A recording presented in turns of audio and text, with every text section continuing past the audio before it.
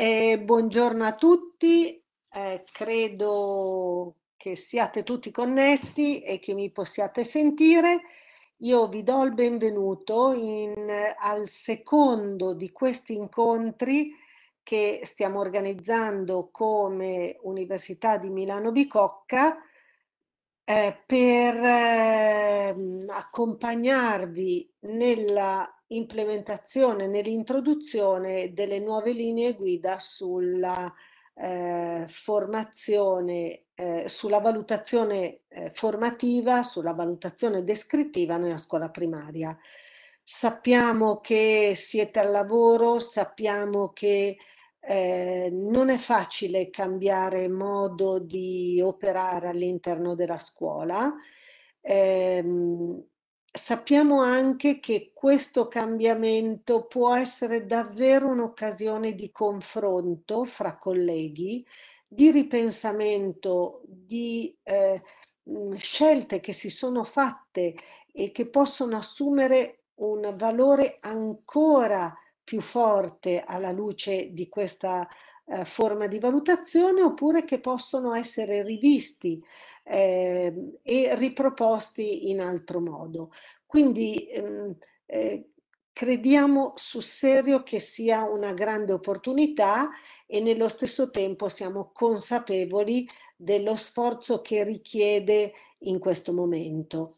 Sforzo che riguarda aspetti eh, molto diversi fra loro, di alcuni abbiamo parlato l'altra volta, tutto il tema della formulazione degli obiettivi e del ragionamento insieme ai colleghi di quali sono le priorità eh, nella scuola, nella nostra classe per quel gruppo di bambini o per quell'ambito disciplinare o eh, in vista di quelle competenze ma anche uno sforzo di ragionamento sulla coerenza fra la scelta degli obiettivi e la scelta delle proposte, eh, uno sforzo di costruzione di strumenti di valutazione anche diversi da quelli che siamo abituati a usare. Eh, molti ci hanno scritto dicendo finalmente possiamo veramente fare quello che già stavamo provando a sperimentare ma che non aveva patria in qualche modo nella scuola dei voti. Altre persone ci scrivono dicendo che sono in difficoltà nel capire come valutare le singole prove o come trovare altri strumenti di valutazione. Questo è un percorso da fare con calma nel tempo, eh, tutti insieme nel confronto con i colleghi. Eh, c'è un aspetto però che abbiamo voluto prendere in considerazione oggi e che riguarda la parte di comunicazione ai bambini o di comunicazione con i bambini. Eh, la valutazione molto raramente, anche per quanto riguarda la ricerca, ma soprattutto nel dibattito all'interno della scuola, raramente si è soffermata a parlare dell'importanza del modo in cui noi diciamo ai bambini come li abbiamo valutati. Ci siamo preoccupati tantissimo di come valutarli, di che voto dare, quale altro simbolo, modalità, eh, segno utilizzare per valutarli, poco su come restituire a loro veramente il senso del percorso che hanno fatto. Ecco, un po' oggi credo che eh, il tema eh, messo al centro come oggetto di riflessione eh, è questo.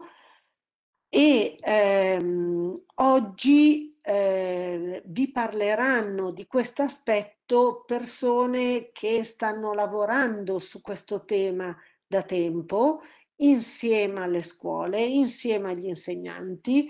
Eh, tra l'altro eh, ci tengo a ripeterlo, noi eh, abbiamo fatto parte di una sperimentazione con il movimento di cooperazione educativa che eh, è, è partito mm, più di due anni prima rispetto all'approvazione della nuova legge. che è stata approvata dal Parlamento nella primavera scorsa.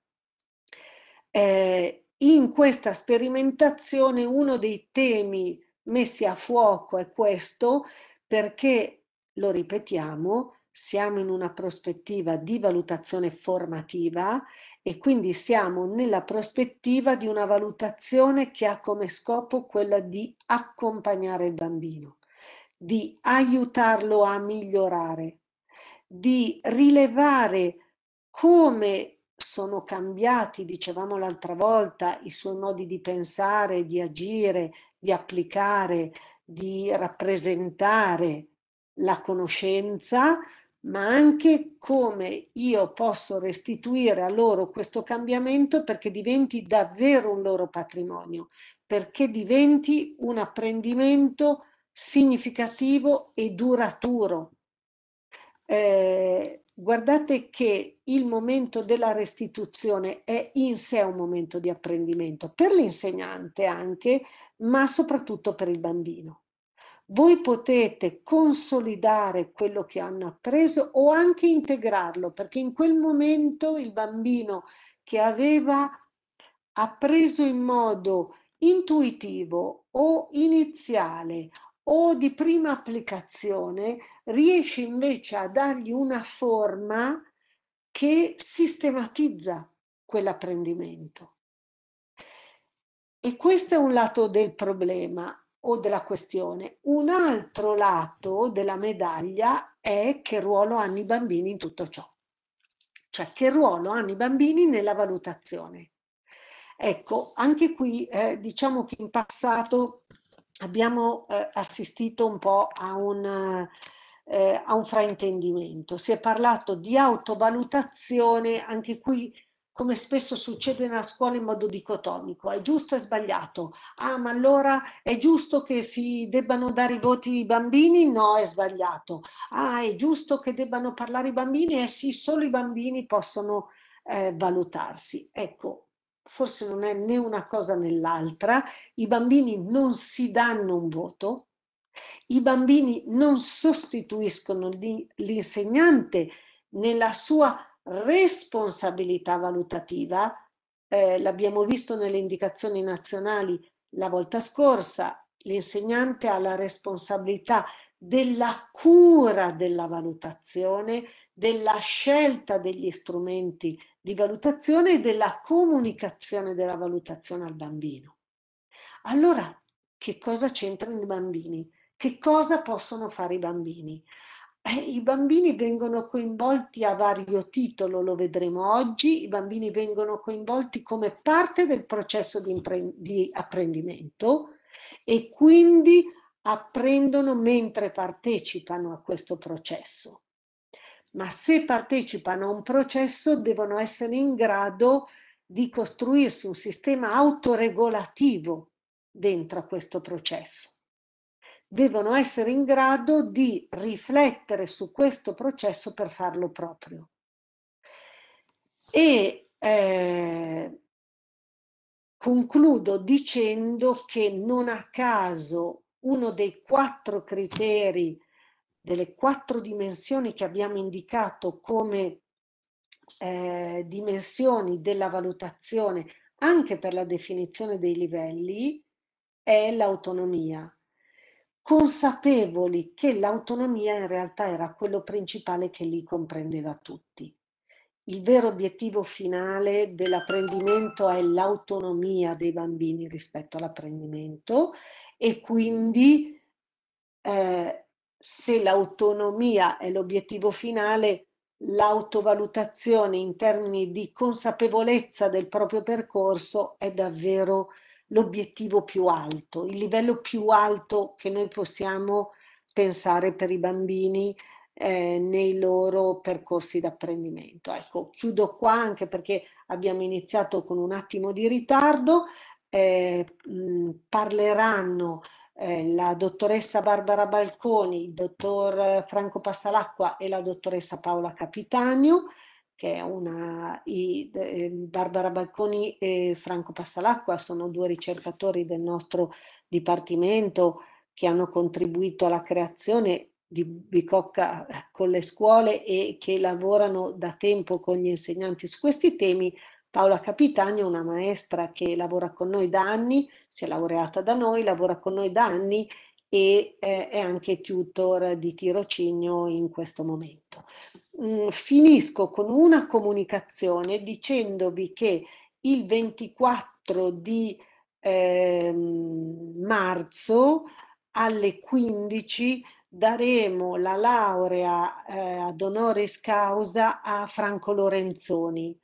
Questo devo dire che costituisce un segnale grosso da parte dell'università di qualcosa che caratterizza in modo fortissimo la nostra università, che è il rapporto fra scuola e università.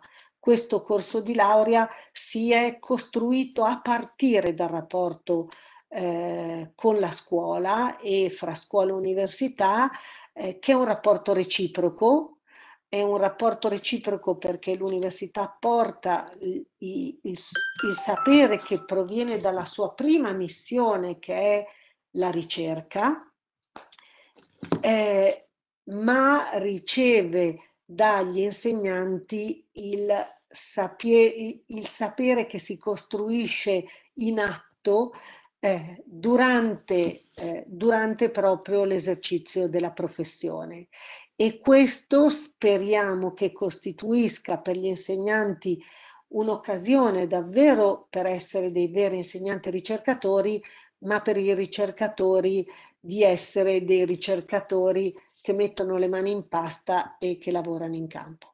Ecco, quindi trovate tutti i dettagli su eh, la laurea honoris causa a cui potrete assistere, partecipare alla cerimonia, diciamo, eh, sul sito della Bicocca, non di Bicocca con le scuole, ma sul sito della nostra università. Eh, vi, ringrazio, vi ringrazio e buon lavoro.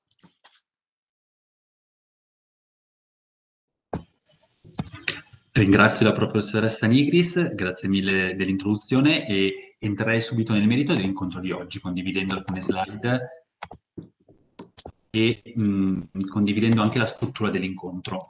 Eh, abbiamo immaginato una struttura divisa in due parti. Una prima parte di ragionamento rispetto al registro elettronico. Oggi vorremmo partire proprio da qui anche raccogliendo quelle che sono state le risposte alle, eh, ai due questionari eh, di iscrizione al webinar di oggi e a quello del 3 marzo. Dal registro elettronico proveremo a capire in che modo la, eh, i giudizi descrittivi, i commenti che noi diamo quotidianamente ai bambini possono essere utili eh, per farci fare proprio il lavoro di inserimento delle informazioni all'interno del registro. Non parleremo tanto di eh, commenti o giudizi descrittivi, ma mh, mm, parleremo di feedback rispetto a questo. Nella seconda parte invece dell'incontro faremo un passaggio dal feedback all'autovalutazione, proprio per tornare eh, a quanto diceva prima eh, la professoressa Nigris, ovvero alla necessità di far sì che i bambini possano eh, essere consapevoli del loro percorso di apprendimento e proveremo a ragionare in che modo questa capacità che noi alleniamo e questa competenza metacognitiva altissima, che in realtà è quello che ci chiede, come vedremo anche eh, la riforma sulle linee guida per la valutazione descrittiva, proviamo a capire come queste informazioni sull'autovalutazione dei bambini possano in realtà essere utili per aiutarci a capire meglio che cosa inserire all'interno del registro. E infine vi presenteremo, eh, al, in conclusione di questo percorso eh, di due orette, ehm, la proposta formativa che abbiamo pensato eh, di strutturare eh, rivolta a una piccola parte di insegnanti. Ehm, è percorso, un percorso formativo che non sarà più webinariale, ma saranno proprio dei laboratori. Ma su questo eh, dedicheremo una piccola parte alla fine proprio dell'incontro. Allora, vorremmo proprio partire dal registro elettronico eh, e in particolare dalle vostre eh, difficoltà, dalle difficoltà che tutti noi abbiamo nel scegliere che cosa mettere dentro il registro. Eh, abbiamo letto eh, le risposte che avete dato, come dicevo, ai nostri ai due questionari di iscrizione eh, e sono tornati alcuni elementi che abbiamo qua rappresentato. Per rispondere a questa domanda vi chiediamo un piccolo momento di attivazione. Eh, oggi in particolare vi chiederemo di eh, commentare un po' come facciamo sempre eh, l'incontro, di porgere domande, di condividere commenti attraverso il Padlet. Eh, trovate il link del Padlet eh, proprio mh, sotto lo schermo, sotto il video di YouTube, nella descrizione. Eh, trovate il link a cui potete accedere liberamente per scrivere commenti. Ma adesso vi chiediamo di fare quest'altra cosa. Eh, di andare molto velocemente, dedichiamo proprio 5 minuti a questo passaggio, di andare molto velocemente su questo sito che è menti.com e di inserire questo codice. Inserendo questo codice, la domanda che viene fuori è quella che eh, avevamo appena visto, ovvero qual è la difficoltà principale che abbiamo nel inserire informazioni, commenti all'interno del registro elettronico. E proveremo a condividere anche lo schermo, vedere un pochino le risposte che date. Quindi menti.com e poi questo codice. Vi apparirà la domanda. Adesso vado a prenderlo io, tolgo un attimo la condivisione. Scusa Franco, ti segnalo che compare un rettangolo nella tua presentazione, quindi devi spostare ah, certo. semplicemente.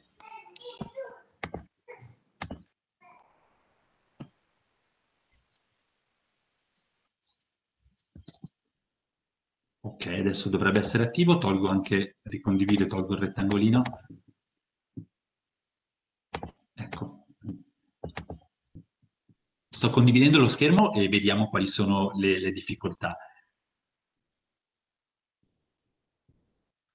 La prima è scegliere gli obiettivi da valutare, la seconda è capire come strutturare nello spazio che abbiamo a disposizione nel registro elettronico un commento descrittivo. La terza è qualcosa che abbiamo già visto in particolare anche nei webinar ministeriali della professoressa Nigris, cioè capire se effettivamente come associare i livelli e quello che sta emergendo è che il livello lo possiamo associare una volta che abbiamo più eh, inserimenti all'interno del registro, non basta una sola prova per stabilire il livello. Il quarto invece è decidere quanto spesso scriverci.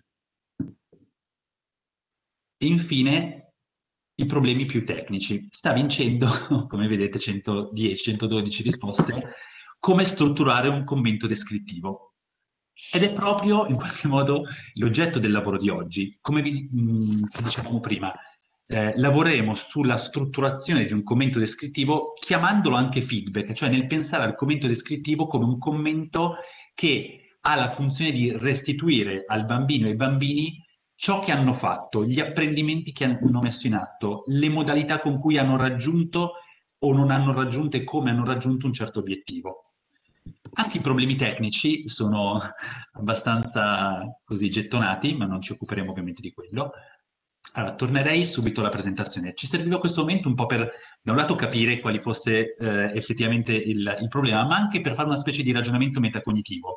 Cioè, nell'atto di registrare alcune informazioni, che cosa effettivamente sono, quali sono effettivamente gli aspetti di difficoltà che abbiamo? Ecco, da dove partire per ragionare sull'inserimento del, del, registro elettronico? Ci siamo detti, eh, proviamo a mettere a fuoco una domanda che non è solo quella del che cosa inserire, ma del pensare a cosa può essere significativo inserire all'interno del registro elettronico. E questo pensare a che cos'è significativo presuppone un ragionamento rispetto alla significatività delle informazioni, non solo per noi insegnanti, ma soprattutto per i bambini e per i genitori ma anche per noi, perché come vedete nell'ultimo passaggio scritto sotto, il fatto di inserire in maniera, diciamo, ragionata e sensata può tornarci assolutamente utile alla fine del percorso, a metà, perché noi se abbiamo inserito qualcosa di scritto in una maniera ricca, abbiamo in qualche modo già traccia dell'evoluzione dell'apprendimento di quel bambino e poi di tutti i bambini. Ma proviamo a vedere degli esempi. Allora, questo è il registro elettronico eh, fino al diciamo, precedente alla, alla riforma sui, sulla valutazione descrittiva. È uno dei tanti registri, sappiamo bene, inserivamo i voti. Proviamo a vedere oggi invece un registro in qualche modo simile, perché mh, molti di voi lo sapranno perché utilizzeranno dei registri così, eh, spesso è stato scelto un registro che ci fa scegliere un menu a tendina all'interno del quale noi possiamo individuare alcuni obiettivi di apprendimento, alcune competenze e anche associare i livelli. Ora, cosa cambia tra queste due modalità? cioè forse cambia davvero molto poco. Cioè se il nostro registro non ci consente di inserire dei commenti, ma noi possiamo solo scegliere in una tendina già degli obiettivi prestabiliti magari da qualcun altro, magari dal collegio, dalla commissione valutazione, ma possiamo solo selezionarne alcuni e poi individuare il livello. Ma allora siamo al punto di partenza. Ci siamo detti che per selezionare un livello abbiamo bisogno di più, di molte evidenze, di più prove, così questo registro non è altro che un registro che replica la struttura valutativa di quello precedente. Quindi abbiamo la necessità di pensare a qualcosa di un po' diverso. Vediamo un altro esempio. Questo è un altro mm, registro, almeno è, un è, un, è uno screenshot di, di, una finestra del registro, eh, la pagina di un bambino in cui abbiamo le diverse materie. In questo caso non abbiamo la possibilità di selezionare il livello, eh, il livello sicuramente no, Senti, ma nemmeno... Una cosa positiva prima. Eh, sento un fastidio eh, sul... Sento un audio... Coca-Cola stanno facendo una roba. E chiedo... Ok, adesso non si sente più. Dicevo, in questa modalità di registro elettronico non abbiamo i livelli, ovviamente, ma soprattutto è il docente che deve inserire un suo commento, non deve eh, scegliere nella tendina dei, degli obiettivi prestabiliti. Questo ovviamente in termini diciamo, di sostenibilità di tempo è, è, un problema, lo sappiamo, perché vuol dire che ogni volta dobbiamo dedicare del tempo a scrivere per ogni bambino un commento diverso. Ma questo esempio in realtà, se lo analizziamo meglio, eh, e vi porto anche le parole del docente che lo ha condiviso, che è eh, Antonella Colombo dell'Istituto Comprensivo di Robbiate, eh, che ha condiviso con noi un ragionamento in realtà più articolato, dicendo sì, apparentemente se noi vediamo questa, eh, questa fotografia ci sembra che ogni volta dobbiamo inserire un commento molto personalizzato e allora quanto tempo perdiamo nell'inserire queste informazioni? Ma quello che è stato fatto, eh, ad esempio, se prendiamo eh, il passaggio di storia, presentazione civiltà italiche, l'esposizione è sicura e i contenuti sono buoni. Mi soffermo su questo passaggio.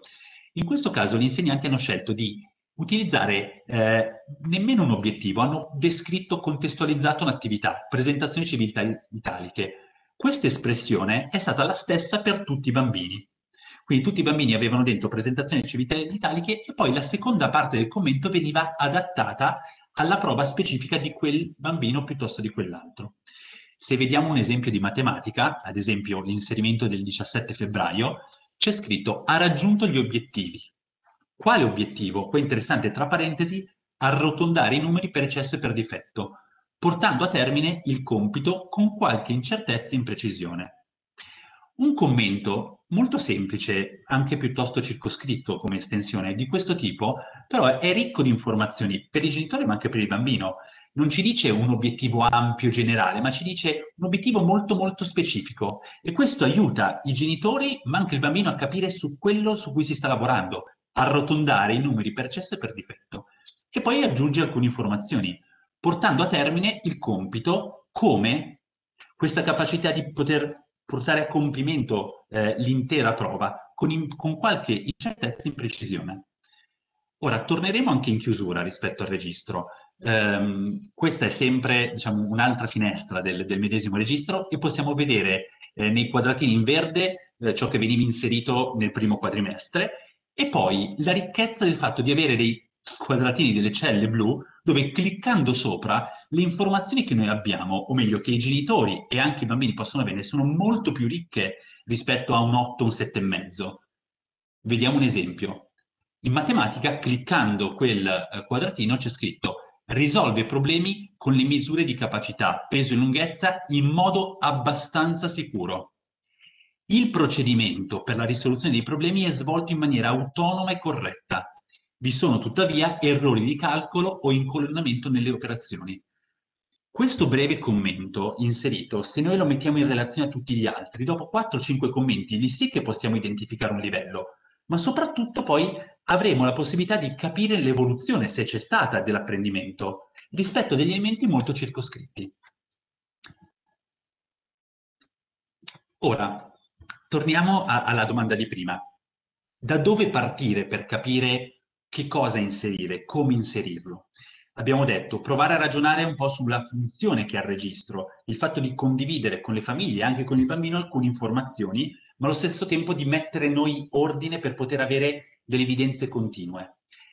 Ecco, ma qual è il faro che ci può guidare ancora di più nel, mm, nel capire queste, mm, questa sorta di linee guida per la compilazione del registro, nemmeno per diciamo, l'intero processo valutativo?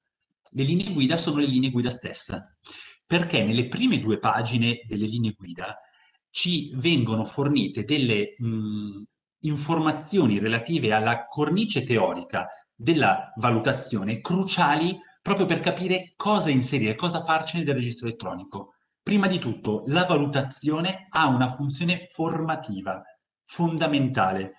La valutazione è uno strumento per attribuire valore alla progressiva costruzione di conoscenze. Quindi il registro elettronico deve, dar, eh, deve rendere visibile questo, questa dimensione formativa, ma deve rendere visibile con parole accessibili ai genitori, a noi e ai bambini, la progressiva costruzione della conoscenza dei bambini. Nella seconda pagina, se vedete il passaggio riquadrato in rosso, si dice che la valutazione documenta lo sviluppo dell'identità personale, ma soprattutto promuove l'autovalutazione. Ed è proprio qui che noi vogliamo avviare eh, una, un percorso adesso con alcuni esempi, ma con la testimonianza di un insegnante, Paola Capitanio, eh, un percorso proprio che ragiona sulle, eh, sulle, scelte da compiere per arrivare al giudizio eh, e commenti da inserire nel giudizio elettronico, ma scelte che non dipendono tanto dalla parola da inserire dentro, ma che presuppongono tutto il lavoro che facciamo prima. In particolare rispetto all'autovalutazione, ma ancora prima ai commenti che noi non scriviamo nel registro, ma scriviamo sui quaderni. Che rapporto c'è tra i commenti che noi scriviamo sui, sui quaderni dopo una prova di verifica, un'attività ai bambini, e invece quelli che mettiamo nel registro? Sono la stessa cosa? Quando hanno hanno una funzione davvero formativa? Proviamo a vederlo.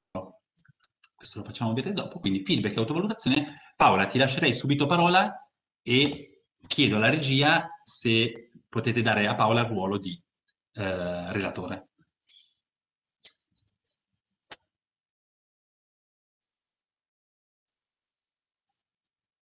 Buonasera a tutti. Franco, condivido quindi le slide? Perfetto, sì, condividi tu fino a dove siamo arrivati.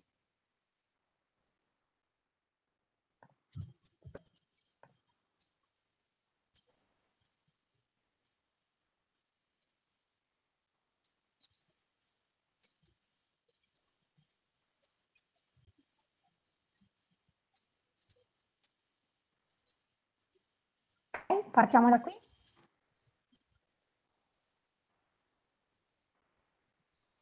Quindi buonasera a tutti, eh, io porterò l'esperienza di un insegnante, di un insegnante di scuola primaria, eh, in modo particolare partirò dalla mia esperienza ehm, di quest'anno come insegnante di classe prima eh, di scuola primaria, ma facendo riferimento più volte a un'esperienza davvero significativa di insegnante di scuola primaria eh, in tempi di didattica a distanza dello scorso anno. Quindi già per rispondere a qualche eh, indicazione comparsa sul Padlet, ehm, appunto rassicuro nel fatto che parleremo anche di didattica a distanza con alcuni, alcuni esempi e con alcuni rileggendo alcune esperienze dello scorso anno alla luce di quello che stiamo vivendo tuttora.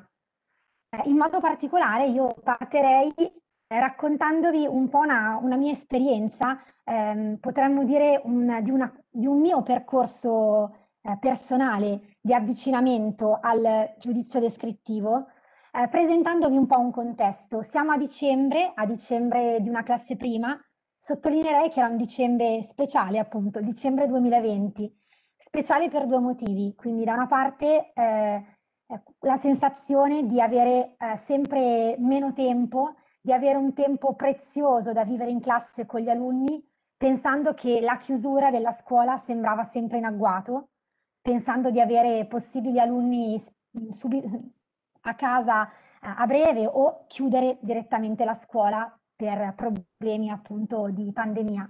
Ma dall'altra parte un, direi un, eh, un dicembre speciale per, la, per l'arrivo anche delle linee guida E allora mh, proviamo a rileggere queste due cose insieme. Eh, siamo a dicembre di una classe prima in cui l'avvicinarsi alla lettura e alla scrittura è sempre più patrimonio della, del gruppo classe e, e, volevo poterli far avvicinare a, due, a queste due abilità e che, che, diventeranno via via delle competenze sempre più acquisite da loro in un contesto di senso. Ecco che allora ho sfruttato l'idea eh, del loro entusiasmo per le vacanze di Natale in arrivo, ma soprattutto per tutto ciò che riguardava il Natale e le decorazioni natalizie che stavano invadendo le loro case. C'era dall'altra parte un un'altra necessità importante che era un accompagnarli nella valutazione. Eh, avevamo scelto come, come, team di classe di non valutare i primi mesi di scuola con un voto numerico, ma volevamo trovare un modo per poterli supportare in questo processo di apprendimento da poco iniziato. È una dei, ehm, delle frasi no, ricorrenti in prima, eh, hanno appena iniziato, li conosciamo poco, come valutarli, in che modo valutarli. Ecco, mi viene da dire in questo momento in che modo quindi supportarli. Ecco che allora sono arrivate eh, in, questo, in, questo, dicembre le linee guida eh, che mi hanno toccato eh, dal vivo pe pensando di, di dire bene, ok, Paola, come puoi sperimentare questa valutazione descrittiva in questo contesto e in che modo? Tanti erano i dubbi, tante erano le perplessità, ma dall'altra parte trovavo in questa, in questa possibilità la possibilità di poterli supportare, supportare i miei alunni nel modo eh, forse più adeguato possibile. Ecco che allora vi presento brevemente. Paola, scusami se ti interrompo, puoi mettere in modalità schermo intero? Grazie. Scusate come ci ha segnato la regia. Grazie Paola. Scusate.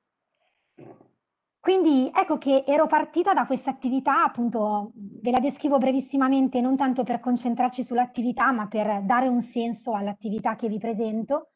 Eh, avevo dato questa consegna di poter fotografare e condividere su Classroom una delle decorazioni natalizie presenti nella, nella loro casa.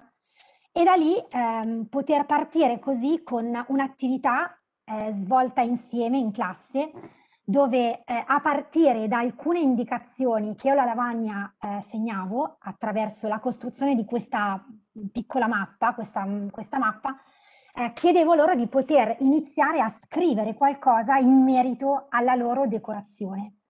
Quindi come vedete ci sono due esempi qui riportati nella slide. Eh, a sinistra vedete appunto la, la struttura diciamo, della mappa presente alla lavagna che veniva via via compilata passo a passo, di modo che ogni bambino potesse via via inserire le informazioni che io gli richiedevo.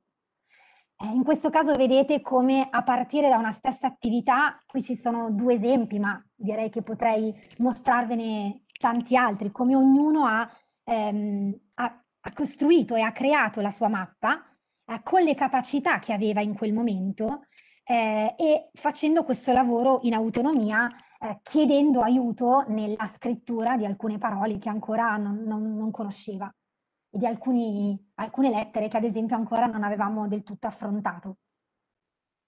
Ecco che a quel punto eh, l'attività appunto prevedeva un secondo momento, come vedete appunto nelle indicazioni di lavoro, con le informazioni raccolte nella mappa, quello che chiedevo era quello di provare a scrivere un primo testo, un primo testo ehm, esterno, dove appunto le informazioni venivano così riportate. Ecco che eh, da insegnante mi ritrovavo eh, nelle mani eh, moltissimo materiale, un materiale prezioso dei bambini che mi parlava del loro processo di apprendimento, mi parlava di tante cose, mi parlava, se riguardiamo qui, poteva parlarmi di come avevano interpretato e capito la mia consegna di lavoro, come erano riusciti a seguire le mie indicazioni, delle indicazioni orali, come avevano provato a scrivere ehm, le informazioni che chiedevo e come avevano provato a scrivere un testo, un brevissimo testo, un semplice testo, a partire da una struttura eh, già predisposta e costruita insieme. Ecco che questi erano, ehm, erano gli esercizi che io gli chiedevo. A questo punto la domanda che mi, che mi, che mi si è posta è, bene, ma come poter mh, restituire eh, questo tipo di lavoro, questo enorme lavoro, perché era stato un, un lavoro eh, grande, importante per ognuno di loro. Allora, proviamo a concentrarci eh, su questo esempio. Avete visto prima, ne ho, ne ho, mostrati degli altri, ecco, in modo particolare ci soffermiamo su questo esempio e su questo bambino. Ecco, prima, il primo feedback molto semplice che mi, mi è venuto in mente è un bravo, hm? eh, ha saputo ehm, seguire le mie indicazioni, seppur vedete con eh, alcune imprecisioni, eh, credo che sia caduto all'occhio di tutti che le informazioni che io chiedevo non sono tutte presenti nella mappa di questo bambino, però era, era riuscito a fare parte, buona parte del lavoro che avevo richiesto ed era riuscito anche a scrivere un primo testo in autonomia. E quindi mh, come però formulare questo tipo di feedback? Allora ho provato a, ad aggiungere una parte eh, al mio feedback proprio per cercare di eh, dare al feedback un valore eh, descrittivo di quello che il bambino stava facendo in quel momento, perché mi sembrava proprio prioritario questo. Per cui provare a restituire con delle parole semplici il fatto che era riuscita a completare la mappa con alcune delle informazioni richieste dall'albero, eh, scusate, richieste sul suo albero, quindi richieste però nella mappa, lui parlava del suo albero, eh, e anche qui questa prima parte l'ho restituita lui come l'ho restituita agli altri, per cui mi sono chiesta come poterla restituire, per cui eh, ci sono bambini che hanno restituito e hanno ehm, completato la mappa con tutte le informazioni, chi invece come questo bambino con alcune delle informazioni richieste. E ho voluto restituire che grazie a questa mappa, quindi restituendo anche proprio la funzione anche di questo esercizio, grazie a questa mappa è riuscito a mettere insieme delle semplici frasi con le quali è riuscito a formare un suo primo testo. Ecco che però anche qua ehm, questa formulazione mi sembrava che desse delle informazioni, ma che potesse essere ancora più completa se ehm, poteva dare al bambino la possibilità di fare un passaggio oltre, un passettino oltre, quindi ricavare dal mio feedback alcune eh, informazioni, eh, devo dire, ehm, fondamentali per lui, per poter proseguire per poter andare avanti nel suo processo d'apprendimento. Ecco che allora aggiungerei, ho aggiunto un altro pezzo nella quale davo delle indicazioni, ad esempio l'indicazione qua in questo caso era eh, di provare a rileggere tutte le volte che scrive, perché magari qualche lettera è scappata, è scappata di troppo, c'è qualche lettera di troppo, ma anche c'è qualche lettera che manca, piuttosto che in altre occasioni ho scritto che ad esempio di ricordare di separare le parole, processo che ancora a dicembre della prima non era assolutamente scontato.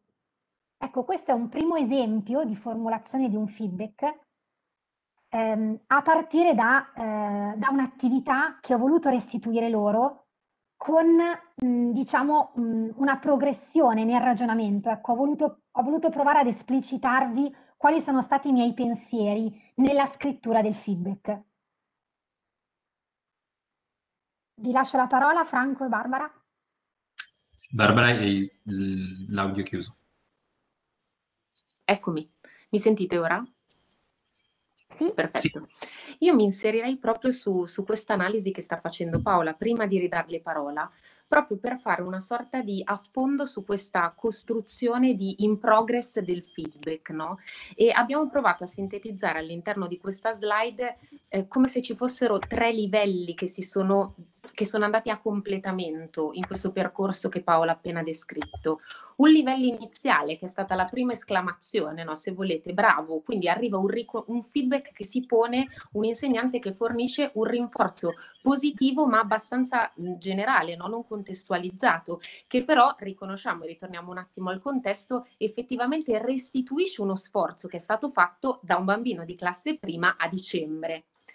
Il secondo passaggio che Paola ha aggiunto è stato arricchire questo rinforzo positivo generale con delle altre informazioni che vanno un po' a specificare alcuni elementi legati alla prestazione. E Paola vi ha fatto notare come ha agito, diciamo, su due fronti. Da un lato restituendo la capacità del bambino di riuscire a completare questa mappa che le aveva dato come consegna e dall'altra parte la sua capacità di mettere in gioco le informazioni che questa mappa aveva permesso di evidenziare, sottolineando anche il fatto che non fossero tutte quante quelle che lui aveva utilizzato, quindi giocandosi questa parola semplice di alcune. Poi abbiamo un terzo livello, che è quello che lei dice, dove mi mancava un aspetto più da restituire, no? E quindi arriva questa seconda parte dove si aggiunge grazie alla mappa hai scritto delle frasi che insieme formano il tuo primo testo e poi quando scrivi ricorda di, di rileggere, potrebbe esserti scappata qualche lettera. In questo pezzo ci vediamo effettivamente che l'insegnante è come se mettesse in luce alcuni strumenti che possono diventare utili anche in altre situazioni, ok, al bambino per costruire un testo. Questo era il suo primo testo, è un bambino che appunto sta iniziando a scrivere e quindi diventa importante anche provare a restituire la logica di questo compito. Quindi grazie alla mappa hai scritto queste frasi che ti hanno consentito di mettere, eh, di mettere a punto il tuo primo testo. Ma aggiunge un altro pezzo pezzo che si configura proprio come un suggerimento, come una restituzione, come a dire hai fatto tutto questo, ti suggerisco un pezzettino ulteriore da fare, che è appunto quello in questo caso di provare a abbozzare una primissima revisione del testo.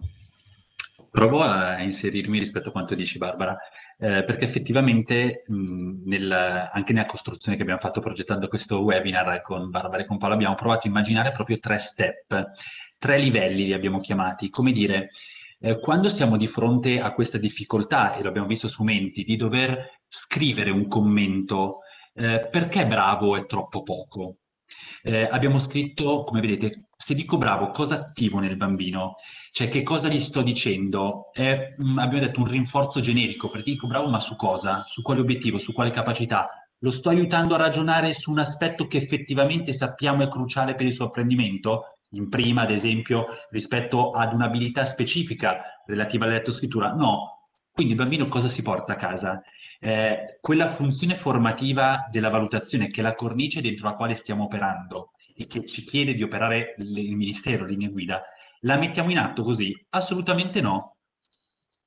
Il secondo livello e il terzo già ci dicono qualcosa in più e proverei a mettere in luce il fatto che, come dicevi tu Barbara, il terzo livello arriva quasi ad attivare una sorta di funzione metacognitiva. Cioè il terzo livello aiuta il bambino a capire anche le azioni che ha compiuto. Grazie alla mappa hai scritto delle frasi che insieme formano il tuo primo testo. Ripercorre e mh, costruisce anche una sorta di nesso causale, cioè aiuta il bambino a capire qual è stato il supporto che ha ricevuto? Cioè, grazie alla mappa, come dire, guarda, la mappa è uno strumento che in tutta la prima, in tutta la seconda, ma, ma sempre ti servirà per poter scrivere. Quindi lo stiamo aiutando a capire quali possono essere gli ausili dei supporti. Poi invece questo suggerimento eh, è interessante da guardare dalla lente, diciamo, dell'autovalutazione. E qui Paola ti lascio parola per vedere il prossimo esempio. Perché ci potremmo chiedere, ma questo passaggio, questa uh, formulazione linguistica, quando scrivi ricorda di rileggere, potrebbe esserti scappata qualche lettera. Gli stiamo dicendo noi qualcosa. Cioè, se noi vogliamo effettivamente che il bambino sviluppi una capacità di eh, meta, metalinguistica, cioè di riuscire al termine di un breve testo di tornare indietro e di riguardarlo, per andare a vedere cosa ha funzionato, cosa no, se ci sono degli errori. Quindi questa capacità cruciale da sviluppare fino alla prima, effettivamente questa parte del feedback è funzionale? Non lo so, perché è come se la stiamo dicendo noi. Forse all'inizio per alcuni bambini è utile dirla, ma non stiamo attivando quel ragionamento per cui il bambino dice ah, aspetta, adesso provo a capire che mi stai dicendo questo e ragiono io. E con questo ti lascio parola Paola perché vediamo il quarto livello, se, se c'è un quarto livello di, di commento descrittivo, di giudizio descrittivo che stiamo chiamando feedback e ribadisco perché lo stiamo chiamando feedback, perché è come se nel webinar di oggi, rispetto alla valutazione in itinere, noi stiamo cercando di dire, bene, ma ogni commento che noi diamo deve servire formativamente al bambino per ragionare sulla sua, non prestazione, ma sul suo processo di apprendimento. Altrimenti, se diciamo bravo, bravissimo, meraviglioso, bravino, possiamo anche non scrivere nulla che forse è meglio, ecco. Quindi mh, mm, ti lascio la parola, Paola. Ecco, mh, mm, continuo, eh, continuo nel, nel, presentare una, una seconda attività ehm, pensando al contesto, eh, di, a un nuovo contesto, la classe è sempre la stessa, eh, è un mese dopo, è esattamente un mese dopo rispetto alla prova che avete visto poco fa ed è la fine del primo quadrimestre. eh, dove, eh, dove la, le domande rimangono sempre come accompagnarli nella valutazione, anche a questa fine quadrimestre, eh, come sperimentare questa valutazione descrittiva, ma in un altro contesto che era quello della lettura, della lettura strumentale che si stavano appunto avvicinando sempre più e la comprensione. Ecco che qua lo sguardo, ehm, lo sguardo che mi viene da dire cruciale rispetto a questo tipo di attività, scusate ma mi, mi sposterei prima qua, ehm, indietro, eh, lo sguardo cruciale era stato il, ehm, quindi vi, vi, presento brevissimamente l'attività. L'attività è un'attività anche qua molto semplice, eh, io avevo proposto loro di, ehm, di, mh, di leggere in autonomia eh, queste, brevi, queste brevi didascalie sotto questi disegni, erano oh, sette, sette didascalie, eh, dove dovevano sostanzialmente eh, provare a da soli leggere queste, queste didascalie e colorare nel modo, nel modo corretto eh, i disegni. Quindi l'attività era un'attività molto semplice eh, e eh, questa attività però mi ha, mi ha fatto pensare a due aspetti rispetto alla restituzione, rispetto a quello che dicevamo, alle domande appunto che hanno accompagnato un po' questa, questa mia ricerca e sperimentazione come supportarli nel processo di apprendimento. Bene, allora qua in questo caso ad esempio mi è sembrato fondamentale soffermarmi sulla consegna e restituire loro, loro e le loro famiglie, la consegna, cioè provando a concentrarmi su quello che io avevo chiesto loro nel fare questo tipo di attività. E quindi qua la, la, la, la rileggo, per, rileggo insieme a voi per analizzarne pezzo per pezzo rispetto a quello che stiamo dicendo. Quindi c'era un leggi da solo le frasi che trovi sotto ogni disegno. Pensate che differenza, torno all'esempio, eh, che differenza ci sarebbe stata se io avessi proposto queste schede, erano due schede, a livello pratico erano proprio questi otto disegni su due schede, io avessi distribuito queste schede, avessi letto per loro le otto, le, le otto vignette e avessi detto bene, adesso rileggetele voi e colorate. Ecco, in questo caso invece ho chiesto di fare da soli, quindi di leggere da soli le frasi scritte sotto ogni disegno, di porre attenzione a quello che c'era scritto e di capire così come colorare i particolari del disegno. Avevo dato delle indicazioni anche precise rispetto alla coloritura, di colorare con dei pastelli colorati con molta precisione e al termine de- del lavoro eh, ritagliare con le forbici, appunto seguendo le linee curve che io avevo indicato nei disegni e incollare sul quaderno. Quindi la prima, la prima cosa che eh, mi sono detta nel riscrivere, quindi mh, ricostruendo appunto brevemente l'attività, io queste indicazioni le ho date a voce, eh, ma nel momento di creazione, di restituzione del feedback, eh, mi sono riscritta queste, queste consegne. Allora, la prima cosa che, di cui mi sono resa conto era che io stavo, ho chiesto tanto loro rispetto alla comprensione delle indicazioni di lavoro. Non stavo chiedendo una sola cosa e non era così scontato che a fine prima a fine primo quadrimestre di prima, tutte queste indicazioni venissero ascoltate e seguite da soli.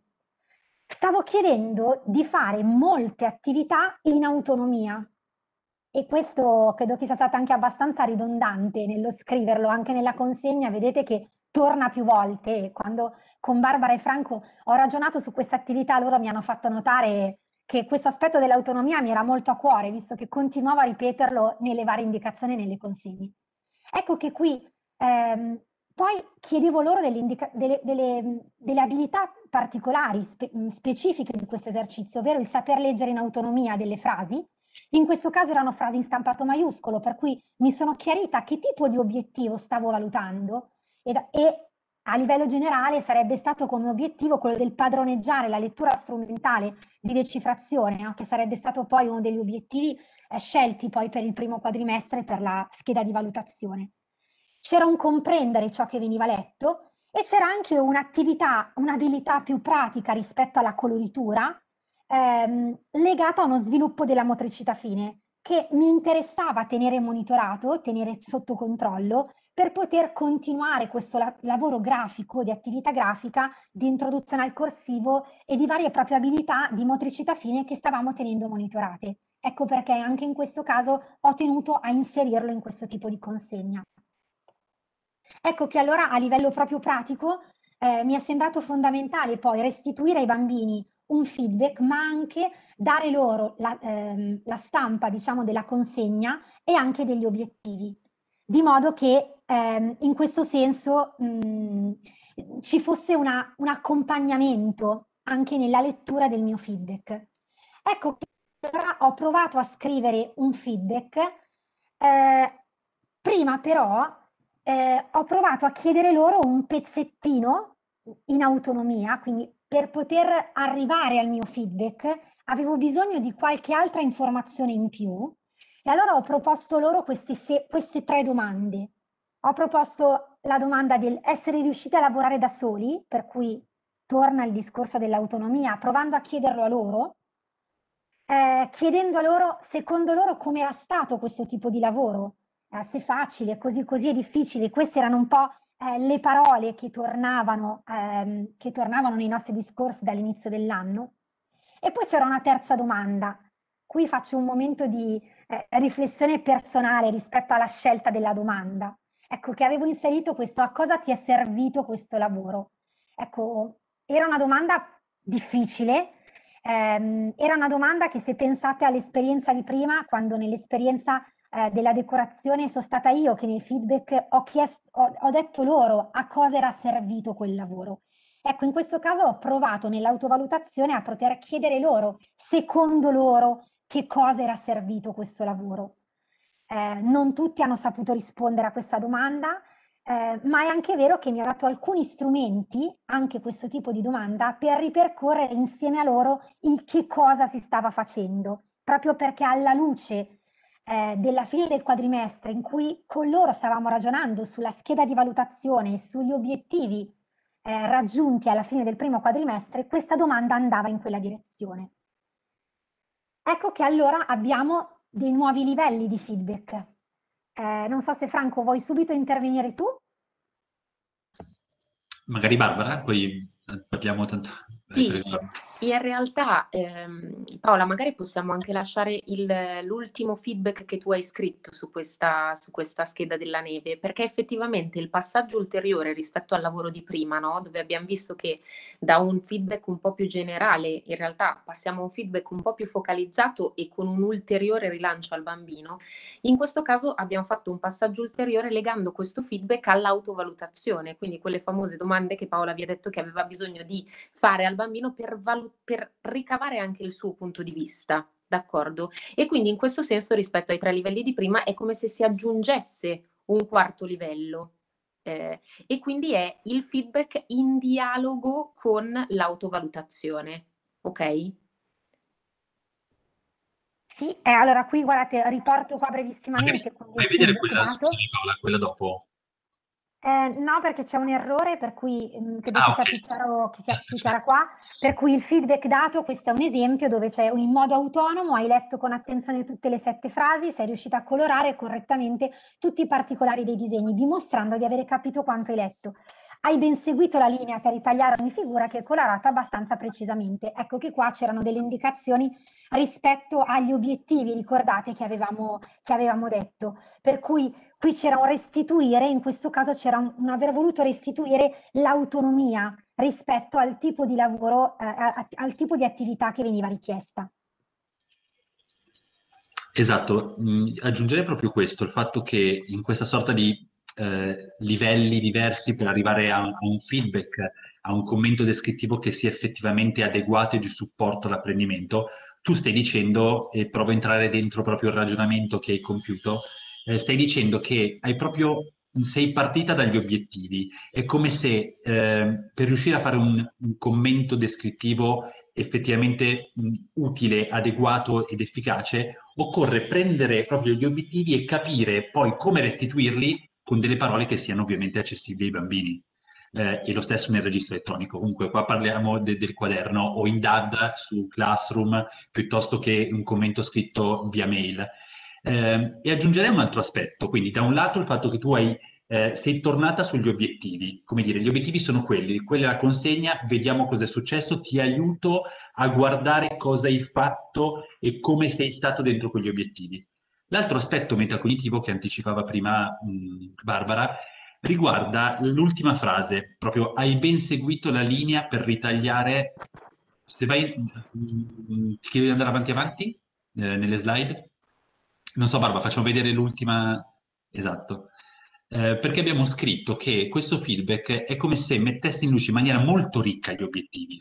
Da un lato l'autonomia e la comprensione del testo, poi dentro la comprensione del testo e l'autonomia ci sono poi una serie di sottobiettivi, ma anche delle abilità apparentemente secondarie che sono tuttavia cruciali in quella fase diciamo, di apprendimento dell'autoscrittura, cioè abilità oculo-manuali, motricità fine, il fatto di aver sottolineato la capacità di colorare e di tagliare le figure.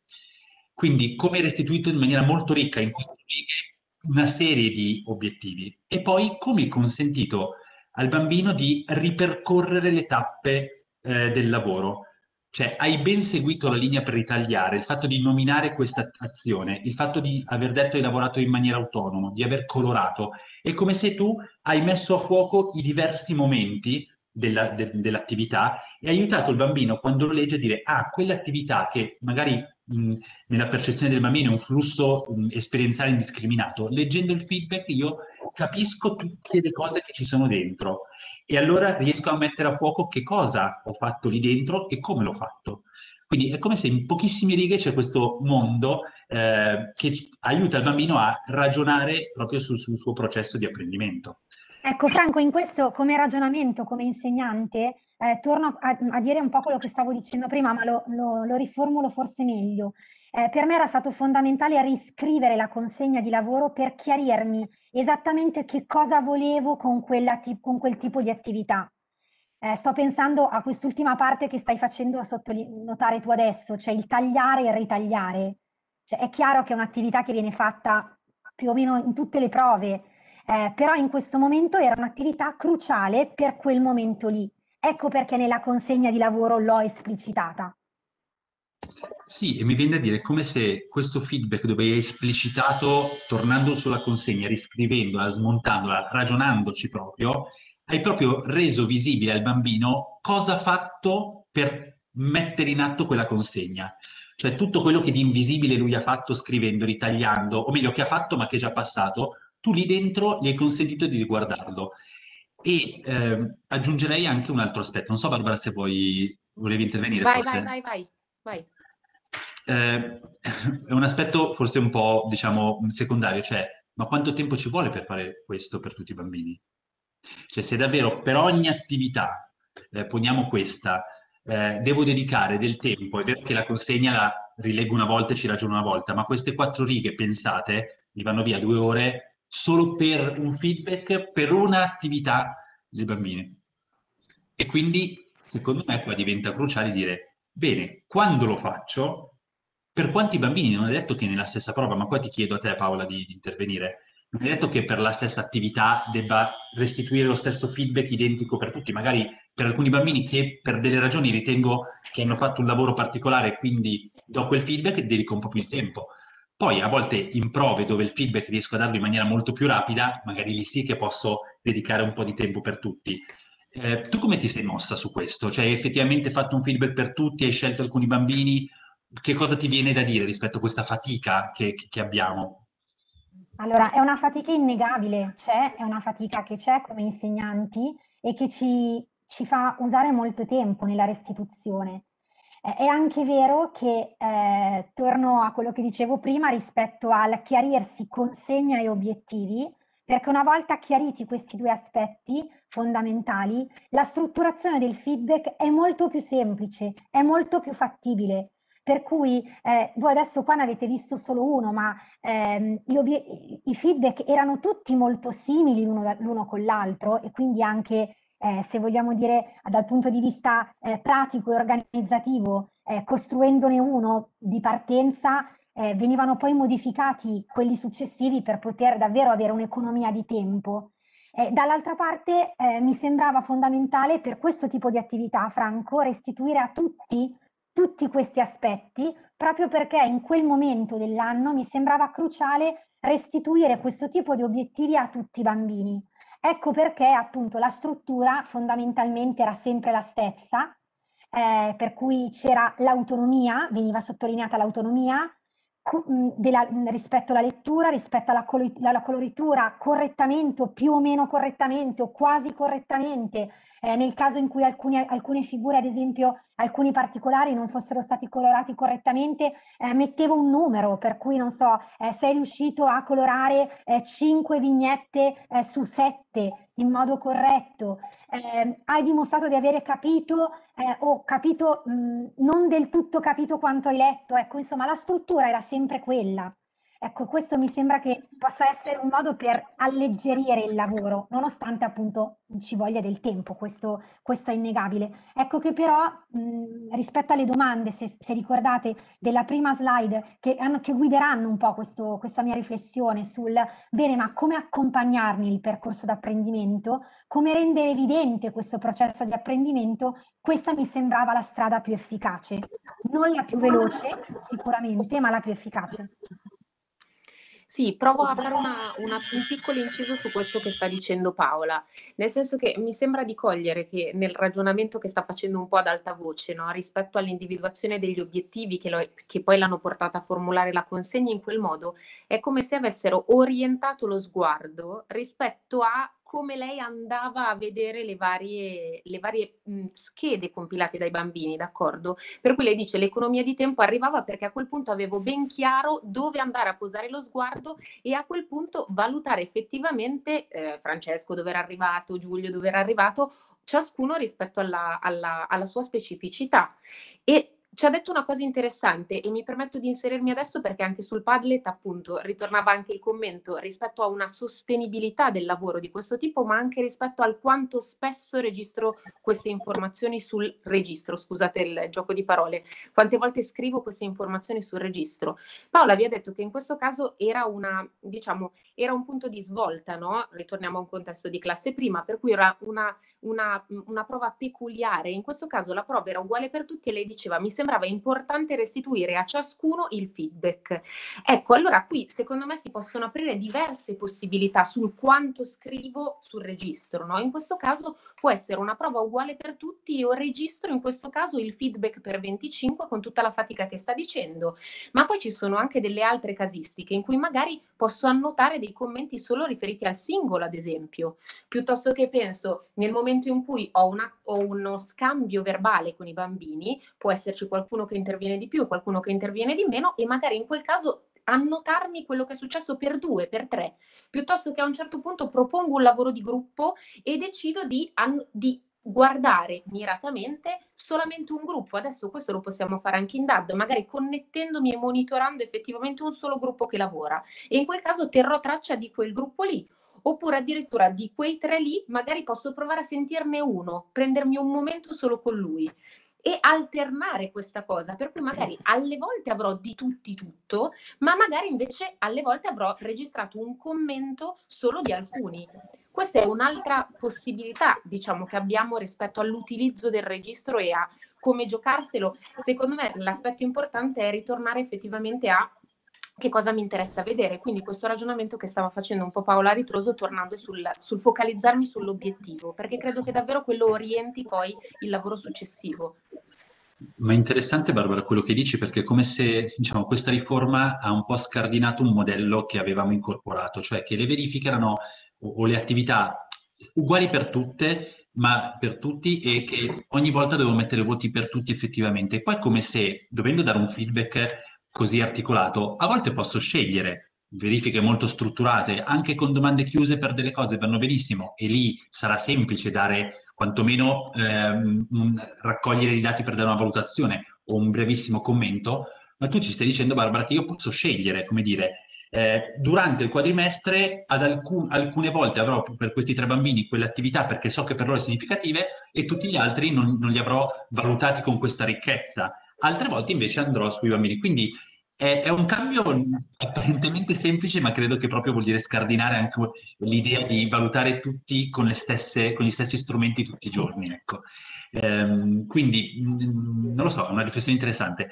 L'altro aspetto che mh, mm, eh, rispetto alle tempistiche mi viene da dire è è vero che ci vuole più tempo, però questo mh, mm, giudizio, questo feedback, questo giudizio iscrittivo, secondo me è come se è pronto per essere inserito nel registro elettronico.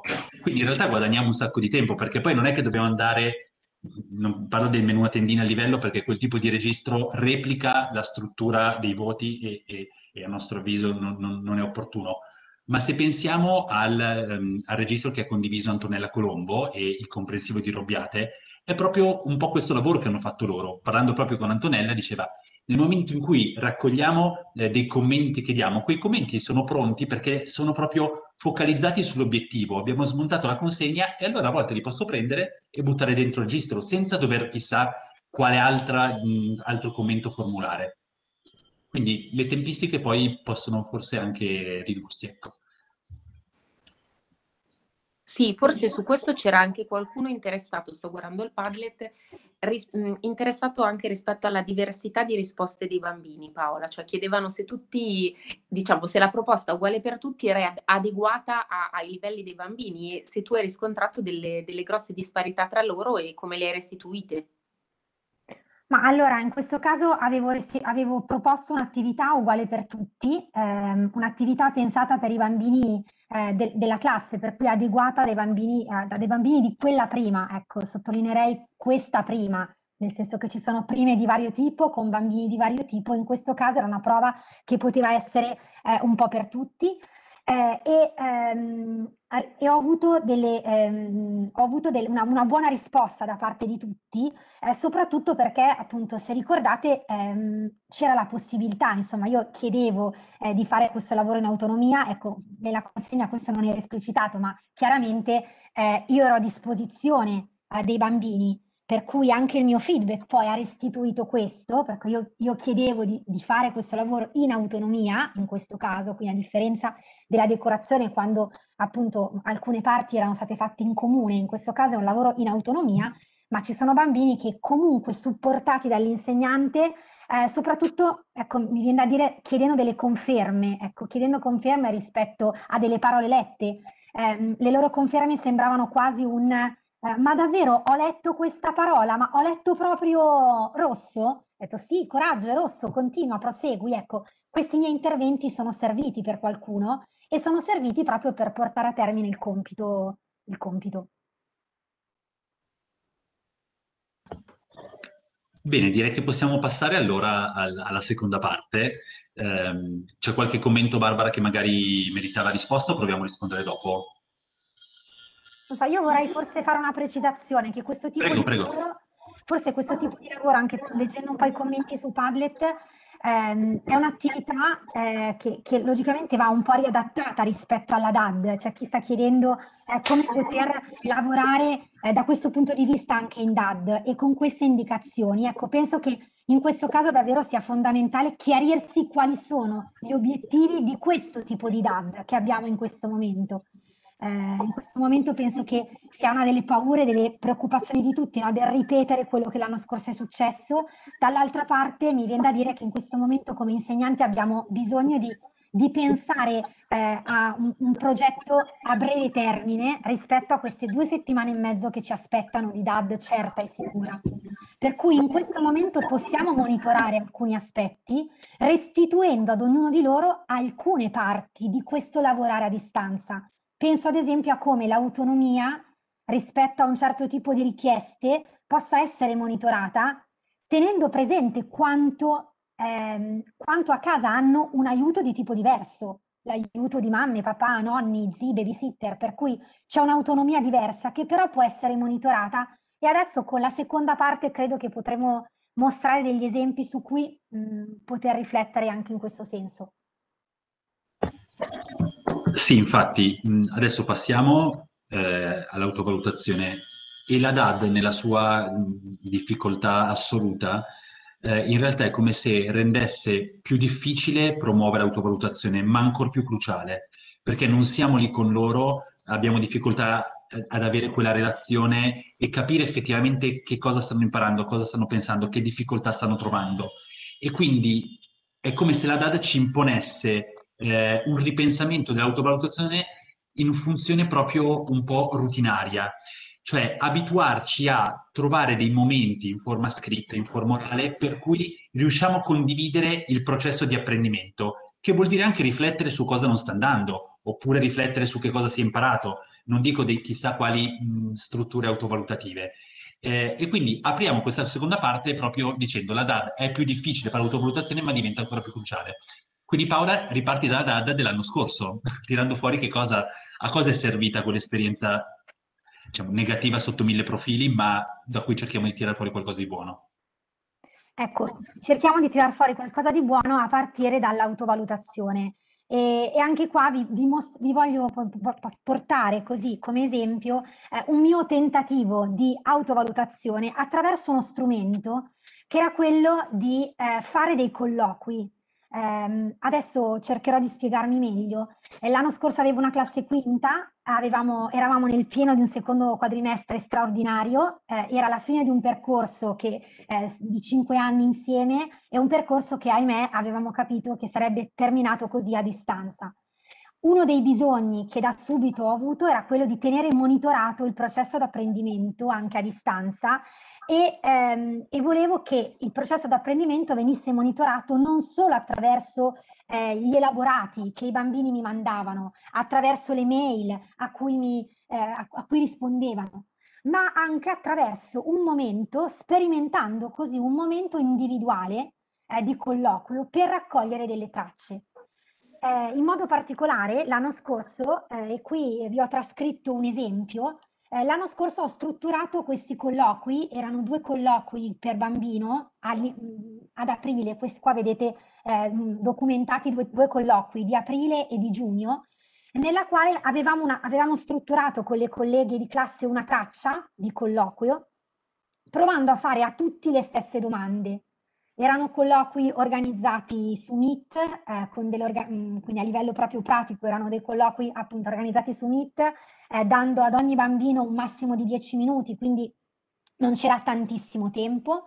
E eh, in questo caso eh, mi sembrava importante chiedere a loro di ragionare su tre aspetti. Da una parte il come stanno lavorando, cioè di prov- provare a farsi un, mo- momento di esame di coscienza, eh, come dire, un momento di valutazione in cui da soli provano a pensare, a esplicitare come stanno lavorando nei momenti sincroni, quindi durante le video lezioni, che erano quotidianamente, ma anche nei momenti di attività asincrona, quindi di tutto, tutto quello che lasciavo come lavoro da fare in autonomia durante la settimana.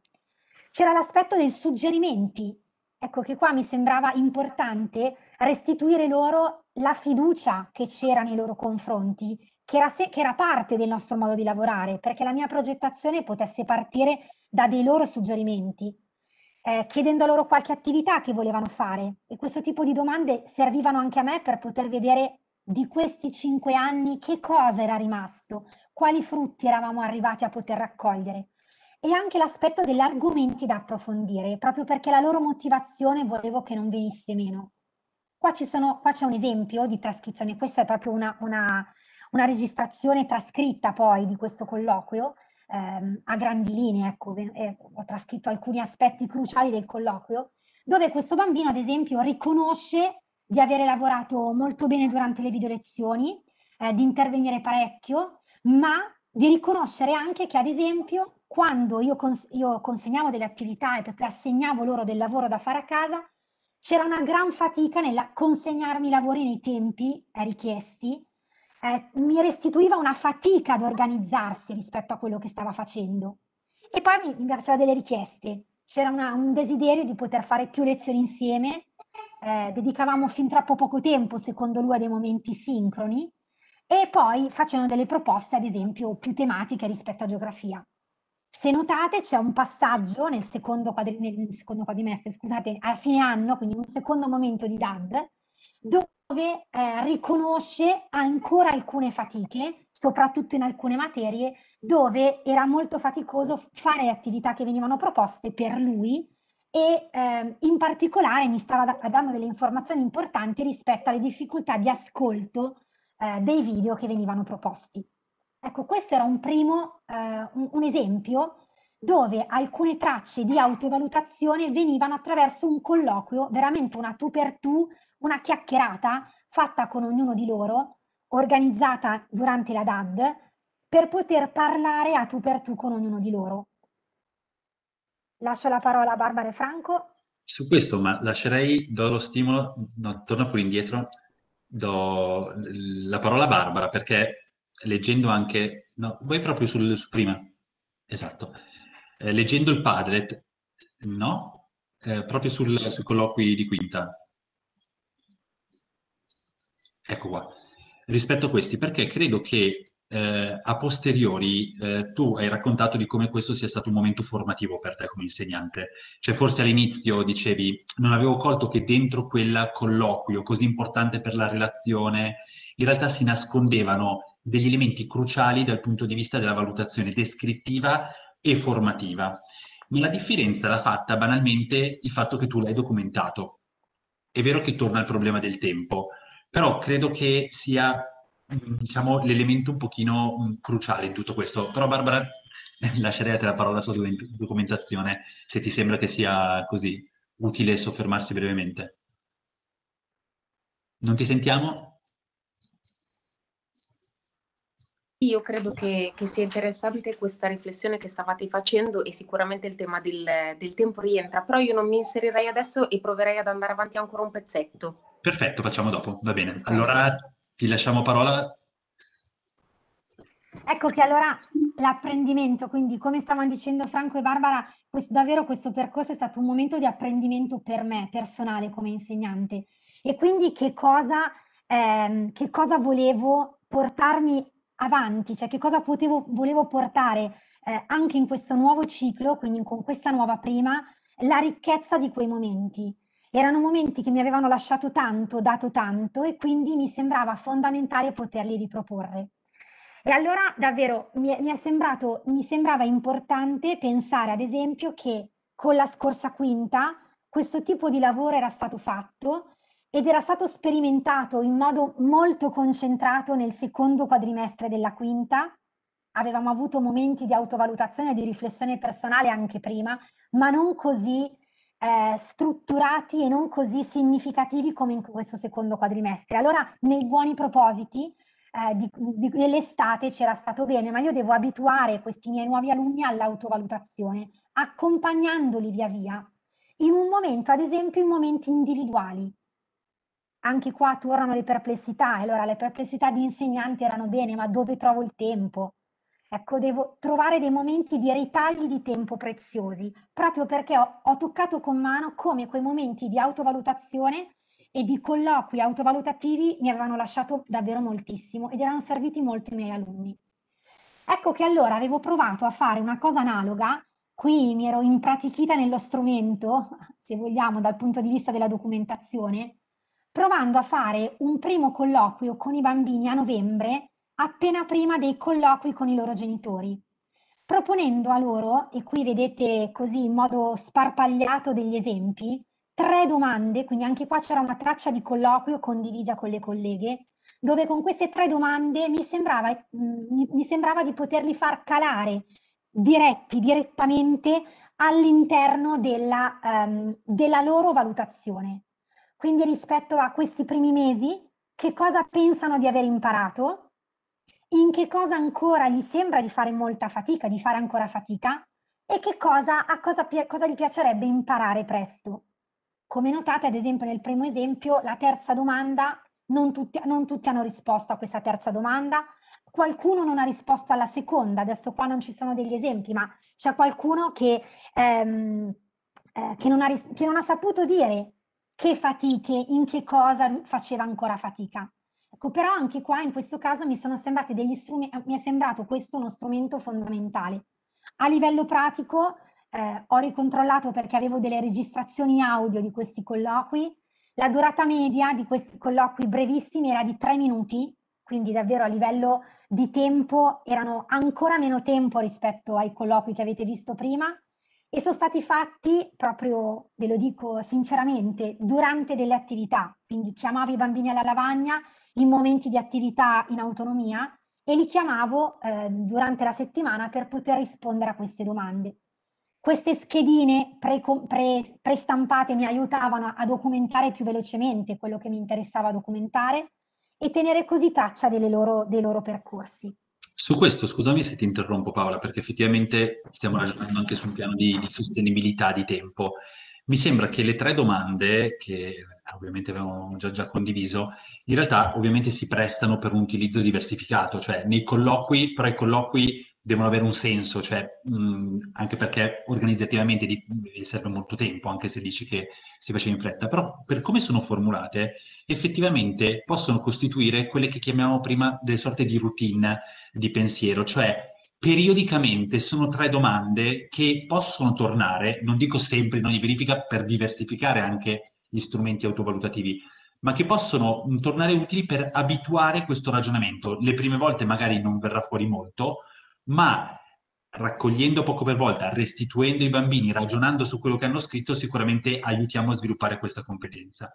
Eh, e si prestano effettivamente, magari in una prima e una seconda è più complesso, ma una terza, quarta, quinta in forma scritta credo che beh, anche nella tua esperienza sia molto semplice anche da, da dare, eh, soprattutto le prime due. Cosa mi piacerebbe imparare? Interessante perché apre tutto un discorso sulla progettazione, ma adesso forse le prime due sono quelle che eh, a noi in questo momento sono più utili per il ragionamento che stiamo facendo su come consento al bambino di capire cosa sta imparando, i contenuti e le difficoltà che sta trovando, quindi le modalità di apprendimento su cui noi invece vogliamo supportare.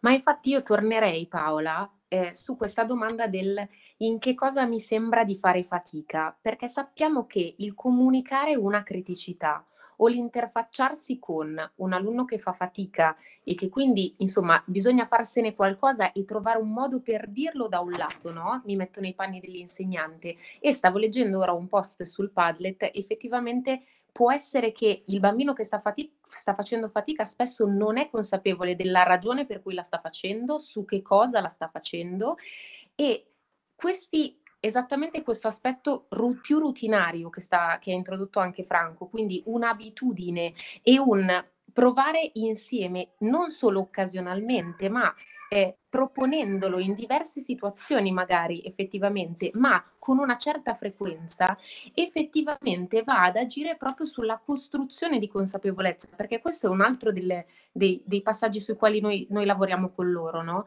Non possiamo darlo come prerequisito il fatto che loro lo sappiano, sappiano riconoscere la fatica e effettivamente sappiano scriverla, perché anche solo nominarla è, è, è un inizio, no? Il capire dov'è la criticità criticità, perché poi il passaggio successivo è una volta riconosciuta la criticità con quali sono le strategie di cui mi posso dotare o ci possiamo dotare, perché effettivamente in questo si rivede un'ottica dialogica tra l'insegnante e il bambino, no? che quindi viene fatto partecipare a questo momento di valutazione. È questo, secondo me, il valore aggiunto effettivamente dell'autovalutazione, no? il raccogliere il suo punto di vista e considerarlo come partecipe a questo momento. E, e mi sembra una, una, prospettiva interessante, però Paola, non so se vuoi dirci anche uno spaccato da, da insegnante su questa dimensione del, del, chiedere in che cosa hai fatto fatica o magari se ti sono capitate delle situazioni in cui qualcuno non ce la faceva e magari è stato più supportato o, o, o vuoi aggiungere ecco, qualcos'altro? Rispetto a questo esempio penso che potrebbe essere interessante poi passare ai colloqui successivi.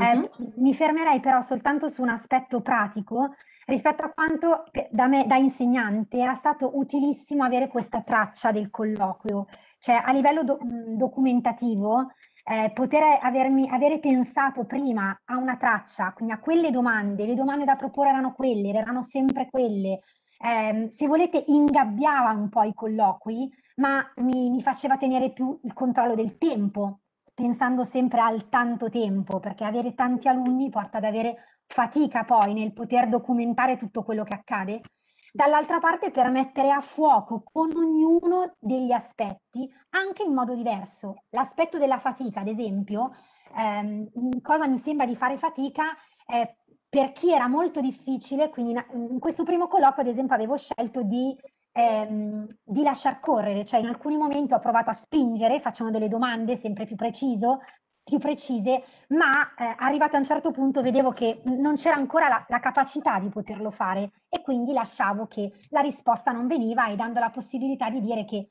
se ti verrà in mente me lo dirai. Eh, questa struttura di colloqui, eh, quindi di questo dialogo, quindi Barbara tu prima dicevi in questo momento di eh, dialogico con gli insegnanti, quindi una valutazione dialogica mi è sembrata vincente con, con, questo, con questo gruppo. Ecco perché allora ho riproposto anche adesso questi colloqui, vedete, qua è documentato a ieri, per cui è una documentazione freschissima, rispetto a uh, una traccia, e se pensate ho ripreso, proprio ripreso in mano la traccia dello scorso anno della DAD, anche qua mi sembrava importante chiedere come sta andando questo lavoro da casa, come sta funzionando, in che cosa ti sembra di fare un po' fatica e qua la fatica torna, che cosa ti piacerebbe fare insieme o hai qualche consiglio per noi maestre? Ecco, mi sono sembrati dei momenti veramente fondamentali. Io qua vi ho riportato in giallo sotto, vedete la trascrizione dei miei appunti fatti al volo. Ero, ieri ero meno organizzata, non avevo le schedine pronte, ahimè mi sono mancate, per cui poi abbiamo detto con le colleghe che le avremmo preparate per i prossimi giorni perché sono state molto più comode docu per documentare. Però ecco, alcuni aspetti mi sono sembrati fondamentali. Ad esempio, in questo caso, questa bambina dice: Mi manca la scuola, i miei compagni, le maestre, faccio fatica a scrivere il diario di bordo. Io sto chiedendo loro di, di fare questo diario a casa il pomeriggio e alcune parole non mi ricordo bene come scriverle, faccio fatica ancora un po' a leggere. I video del corsivo mi servono per scrivere meglio. A volte durante le lezioni mi distraggo quando parlano tutti i miei compagni insieme e non capisco più niente. Vorrei fare dei quadri, un po' delle opere d'arte, facendo riferimento a delle attività che facevamo insieme in classe. Ecco, ehm, a un certo punto, eh, qua non lo vedete, ma vi riporto un altro colloquio di ieri, dove a un certo punto alla mia domanda in cosa ti sembra di fare un po' fatica, eh, la bambina non rispondeva. Allora io ho provato a dire, bene, ma prova a pensare rispetto a quello che facciamo insieme o a quello che vi chiedo di fare da soli, ad esempio nel leggere e nello scrivere, in cosa ti sembra di fare ancora un po' fatica? Allora la, la risposta è stata nel, nello scrivere. E allora lì si fermava, per cui ho provato a continuare accompagnandola dicendo ok dello scrivere, ma cosa nello scrivere? Delle lettere oppure delle parole che non ti vengono? E lei mi ha risposto così, mi ha risposto ci sono dei suoni che dico ma che non so ancora bene come scrivere. Ecco che la fatica è venuta fuori, è venuta fuori accompagnata. Ecco, non dimentichiamo che appunto siamo in una prima e quindi questo accompagnamento è più che necessario. In questo lo dico, ma lo dico a me stessa, perché ogni tanto, come Barbara e Franco mi fanno notare, ho ancora dal punto di vista del colloquio, ma soprattutto dell'autovalutazione, la taratura rispetto alla classe quinta e quindi ogni tanto dimentico un po' che invece sono tornata indietro da questo punto di vista di cinque anni. Per Però su questo l'accompagnamento è fondamentale. No, scusa se ti interrompo Paola e proverei tra l'altro a, a, a, saltare qualche slide e andare due, due o tre slide più avanti su un esempio di autovalutazione, eh, quello iniziale eh, esattamente, però rispetto a quello che dici Paola, rido perché mm, abbiamo analizzato le domande e alcune effettivamente ragionando assieme ci sembravano difficili per i bambini di prima, ma alcuni hanno anche risposto, quindi dipende. Ma come? È come se hai incorporato nel tuo, nella tua professionalità l'idea di farli autovalutare. E non è qualcosa di ehm, secondario, non è una competenza che noi possiamo avere o non avere. E lo dico per chi scrive nel Padlet, come facciamo, non abbiamo tempo, 40 minuti, eh, ma eh, noi siamo chiamati a farli autovalutare. Cioè, paradossalmente, è più utile che loro si autovalutino rispetto a che noi spieghiamo per chissà quanto tempo, gli facciamo fare chissà quante cose. E non lo dico io, ma nelle linee guida, nel dire che la funzione della valutazione descrittiva è quella formativa, significa che noi dobbiamo metterli nelle condizioni anche in DAD di farli autovalutare. C'è poco tempo, vorrà dire che quel poco tempo dovremo trovare dei momenti per farli autovalutare dei colloqui, eh, delle attività di gruppo, una discussione in grande gruppo, un, una piccola cosa scritta come questa. Ma se non lo facciamo, non stiamo consentendo loro di sviluppare la capacità per cui siamo chiamati a lavorare, che è quella che loro imparino ad autovalutarsi. Dico questo perché so che è, è difficile in questi tempi così complessi pensare all'autovalutazione, ma davvero è forse l'elemento imprescindibile di questa riforma. Venendo invece agli esempi di autovalutazione, abbiamo provato a così a raggruppare eh, una sorta di, di nuovo, esempi graduali, di livelli. Questo è un livello molto eh, iniziale, dico iniziale rispetto alle competenze anche nostre professionali. Cioè, il fatto di chiedere a un bambino, mi autovaluto mm, come consegna, eh, che cosa attiviamo in termini di ragionamenti metacognitivi? Forse un po' poco, a meno che non ci sia una grande abitudine ad autovalutarsi, per cui se io gli dico scrivi mi autovaluto, è in grado proprio per quell'esperienza. E infatti cosa viene scritto? Secondo me non sono andata né bene né male. Questa potrebbe essere una qualsiasi richiesta fatta per matematica, per scienze, per inglese, per italiano, per storia. Ma a noi interessa capire da insegnanti come poter strutturare anche delle domande scritte orali che attivano quel ragionamento. Questa diciamo che attiva molto molto poco. Passerei a quella dopo, magari lascio a te parola Barbara così le commentiamo. Questa attiva molto poco, però ci piaceva provare a mostrare appunto, oltre da un lato ai colloqui, che sono una possibilità, eh, ok? Anche delle altre possibilità, no? Spesso ci chiedete degli esempi diversificati. Ecco, anche solo mettere in circolo questa parola del fatto che si autovalutano e vedere l'effetto che fa anche nel, nel disorientamento, no? che uno non, non, sa poi dove muoversi. Questo è un brevissimo stralcio di, di, discussione che questa insegnante ha fatto con i suoi bambini. In questo caso, per esempio, spesso per autovalutarsi si utilizza un mediatore iconico, cioè alle volte gli chiediamo di colorare o rispetto a una soddisfazione o quanto ti sembra facile o difficile di colorare delle, mh, mm, dei disegni. In questo caso lei aveva scelto di far colorare loro dei razzi e qui in questo caso ha fatto colorare il razzo. Uno può decidere, è come il commento di prima, uno può decidere di fermarsi lì, no? Oppure magari chiedergli, vi ricordate che cosa abbiamo fatto qui? Ecco, ci hai chiesto di colorare i razzi e proviamo a vedere anche come loro hanno che cosa loro si sono portati a casa di quel lavoro, perché magari noi abbiamo pensato di, di, fare tutto in un determinato modo, ma effettivamente loro che cosa si sono portati a casa? E lei chiede che cosa abbiamo fatto qui? Abbiamo colorato i razzi per dire se il lavoro era migliore o no. Abbiamo colorato i pallini dei razzi per dire se siamo stati bravi o no ho imparato, era un lavoro di inglese, ho imparato i colori in inglese e a colorare in tanti modi, a proposito di questa coloritura che all'occorrenza può diventare effettivamente, che può ritornare. Ma come hai fatto ad imparare queste cose? Abbiamo ripetuto insieme tante canzoncine, poi tutti insieme i colori e anche io li dicevo ad alta voce. E anche qui, è stato facile o difficile? Facile. Perché? Perché era divertente e li abbiamo detti tutti insieme. Anche in questo caso ritorno a un pezzettino in più, no? Io inizio a chiederti come hai trovato questo lavoro, sempre in quell'ottica di andare nel monitorare anche una criticità o una difficoltà, facile o difficile?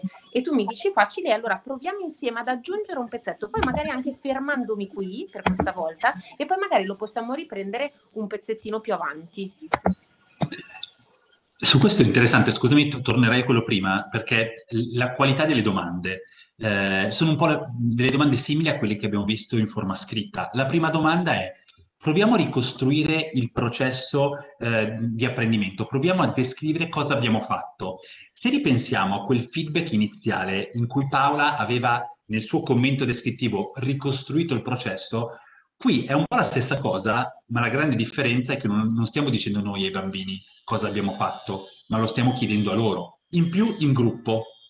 E anche in DAD si può fare 5 minuti, 10 minuti, proviamo a chiedere cosa abbiamo fatto oggi, cosa abbiamo fatto ieri e ascoltare quello che dicono, prendendone nota se si riesce. Se si riesce, ovvio, non potremo farlo sempre, certo che no. Però vediamo la domanda successiva. Prima è, vi ricordate cosa abbiamo fatto? Li rimettiamo nella testa dell'attività e mettiamo in sequenza i diversi passaggi. Solo dopo chiediamo come hai fatto imparare, che è una domanda molto più complessa. E dopo, è stato difficile? Cioè, prima c'è stata necessità di fare una domanda di contestualizzazione dove li abbiamo aiutati a ripercorrere i vari passaggi. Quindi, in poche battute, in realtà c'è una grande competenza, diciamo, autovalutativa o di promozione dell'autovalutazione dell'insegnante. Passerei a quella dopo, che è, molto, è un'attività molto semplice, anche qui, per ragionare cose che mh, necessitano di poco tempo eh, abbiamo detto l'autovalutazione come routine di pensiero, come qualcosa che con strumenti diversi noi facciamo fare sempre. Cosa so e cosa so fare? Dei post-it, che possono essere un Padlet mh, mm, trasposto in DAD, che abbiamo sempre lì, ogni settimana rispetto a un'attività, ogni due settimane chiedere cosa so rispetto a questo, cosa so fare. E come vediamo cosa so? I verbi, le analisi grammaticali, i colori, dei contenuti. Cosa so? Ovviamente fa riferimento più a delle conoscenze, a degli elementi concettuali contenutistici. Cosa so fare rimanda un'idea di competenza, cioè come uso quelle conoscenze. Scrivere testi, inventare poesie, disegnare. qui siamo in una classe sicuramente um, bassa, eh, chiedere questo in una quarta, in una quinta, vuol dire magari scrivere anche dei testi un pochino più articolati. Ma passerei dopo. Eh, ecco, questo eh, è un esempio di un'attività eh, autovalutativa fatta al termine di una eh, prova di grammatica, in una classe quinta. La prova di grammatica era aggettivi e i pronomi. L'elemento interessante è che apparentemente sono cinque domande molto complesse, ma che sono state costruite con dei bambini che per un quadrimestre in quinta eh, in precedenza non erano abituati a lavorare sull'autovalutazione. Quindi in un quadrimestre, alla fine del quadrimestre, partendo da alcuni, alcune attività iniziali, sono riusciti a maturare, a sviluppare una capacità autovalutativa e a eh, condurre un momento di discussione assieme all'insegnante dove hanno scelto delle domande guida che gli aiutassero non solo in questa verifica, ma un po' come mh, traccia da avere sempre sotto mano per autovalutarsi in alcune verifiche principali, ovvio non sempre. E provando a vedere molto velocemente queste domande, ci accorgiamo di come siano complesse ma anche diversificate.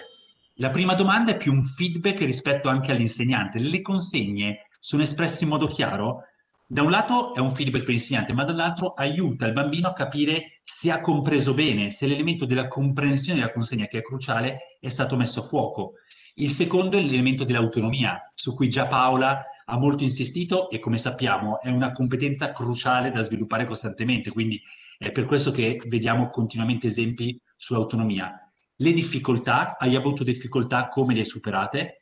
E qui siamo in quinta, e leggendo anche il padre vedevo che c'erano alcune domande che non solo sono relative alla difficoltà, ma a quali sono le strategie che hai messo in atto per superarle, che ovviamente è un piano metacognitivo più alto. Un conto è chiedere che difficoltà hai avuto, come le domande per i bimbi di prima, un conto per, per dei ragazzini anche di, di quinta, è bene, se queste sono difficoltà, cosa pensi di aver fatto per, averle, per superare?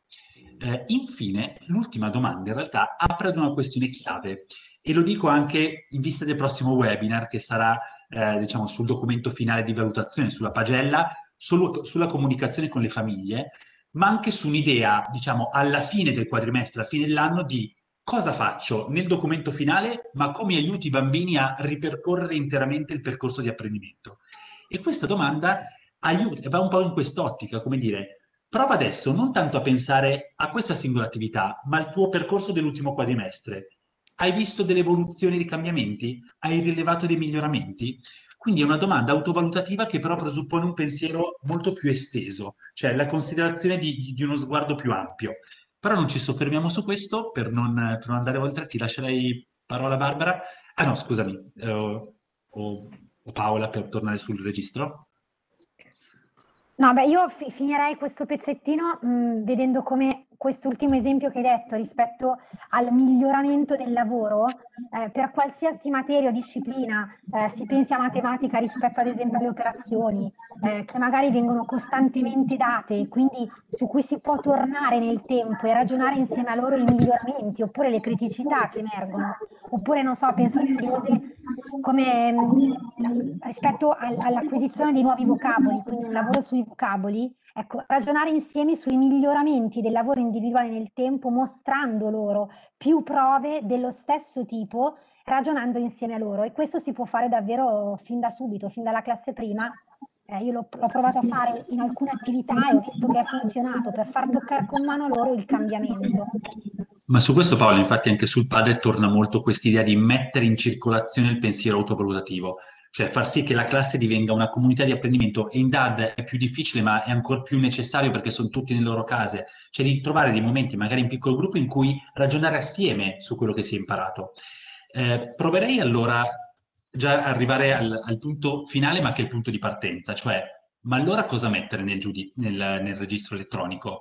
Eh, noi siamo partiti dal dire proviamo a capire che cosa è significativo. Barbara ci diceva magari ci sono alcune attività per cui effettivamente vale la pena spendere del tempo, costruire dei giudizi descrittivi, dei feedback articolati da mettere sul quaderno e allora lì sì che prendo e metto nel registro elettronico, non sempre. Ma ti lascio parola Paola per vedere un po' la, la tua soluzione. Ecco.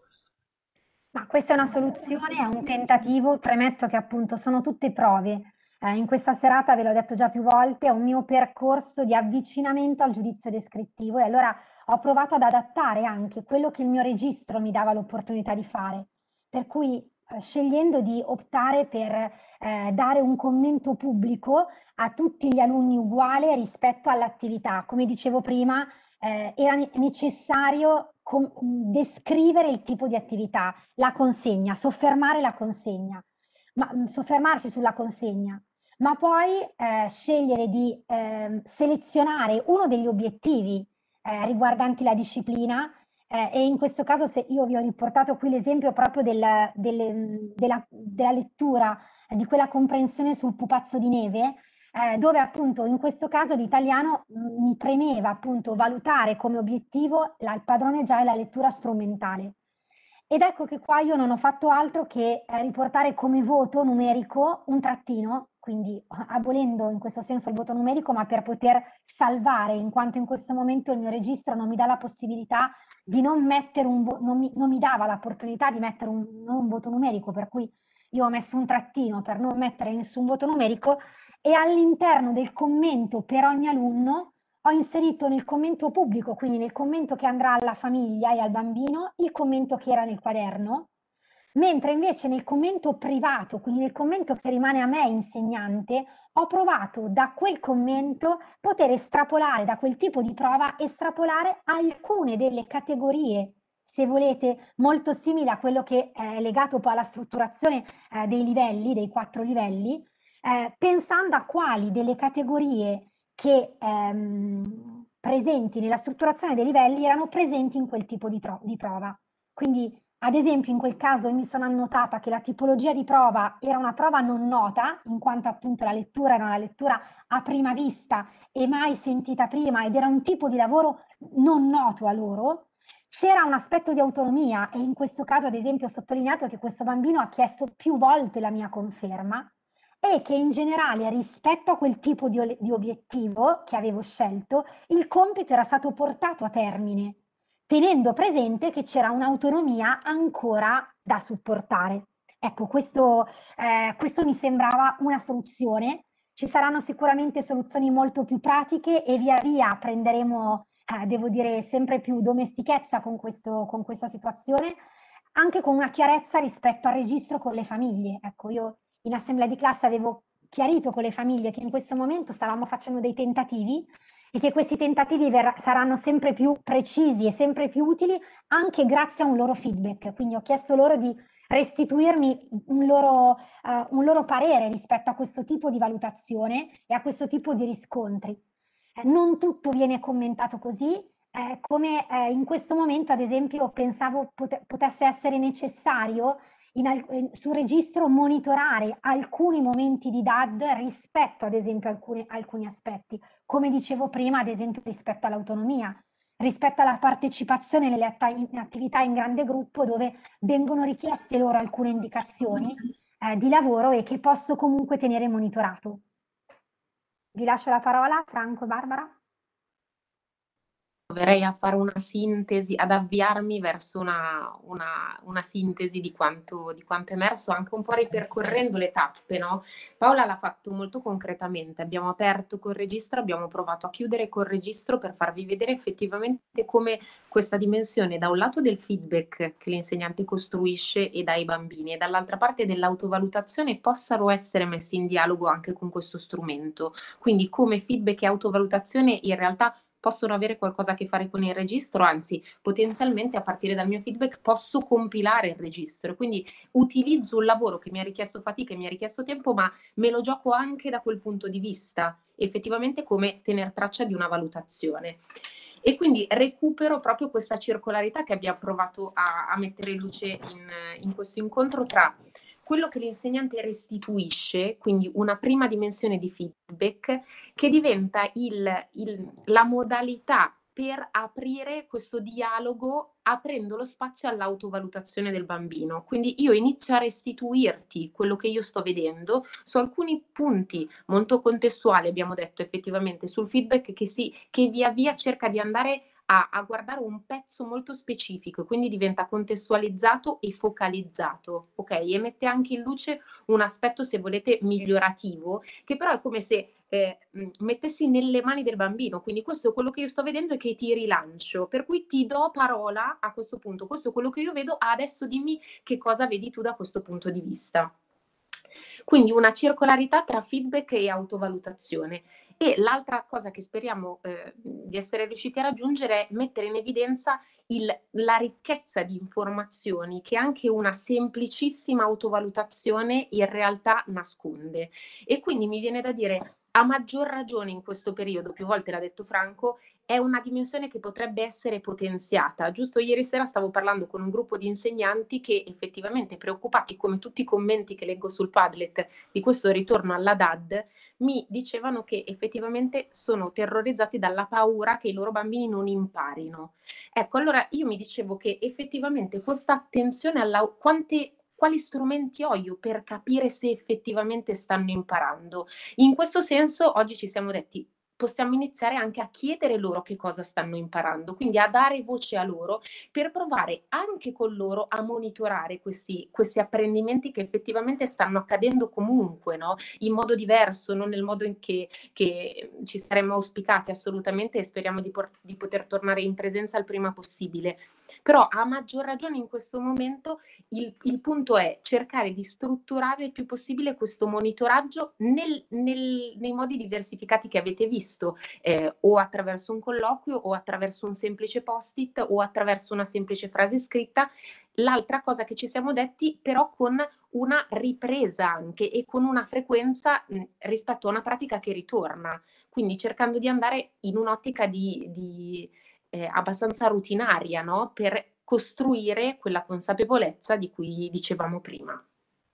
Eh, le altre due cose che mi sembravano interessanti da rilanciare sull'autovalutazione è effettivamente questa apertura al dialogo e alla partecipazione dei bambini e quindi permettermi di incontrarli effettivamente nel punto in cui sono e quindi non arrivare catalogando, d'accordo, ma effettivamente trovarli secondo quella che è la, il, il, loro percorso di apprendimento. Quindi questo mi sembra un altro grande valore della, rispetto all'autovalutazione.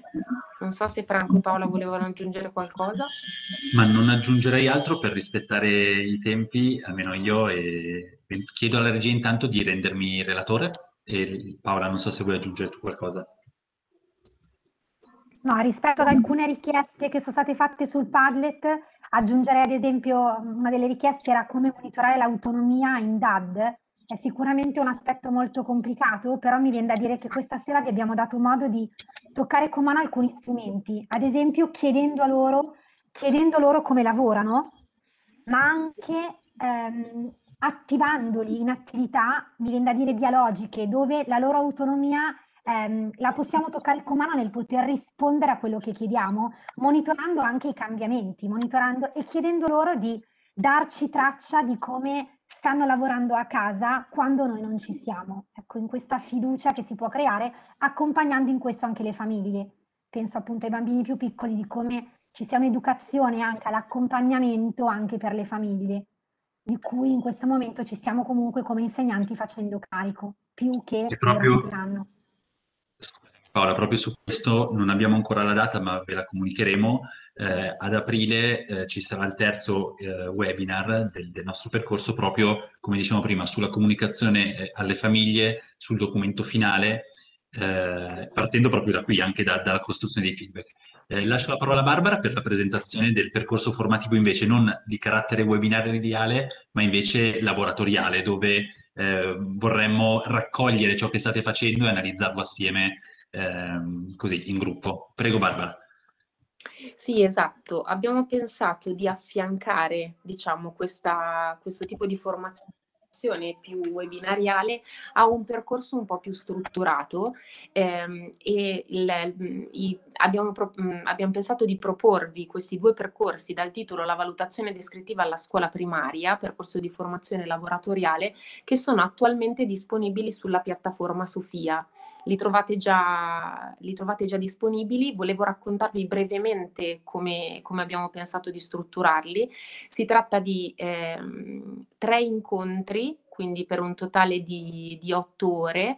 Ehm, abbiamo pensato, trovate già all'interno della piattaforma questi due calendari, ok? Le proposte sono identiche, cambiano rispetto alle giornate.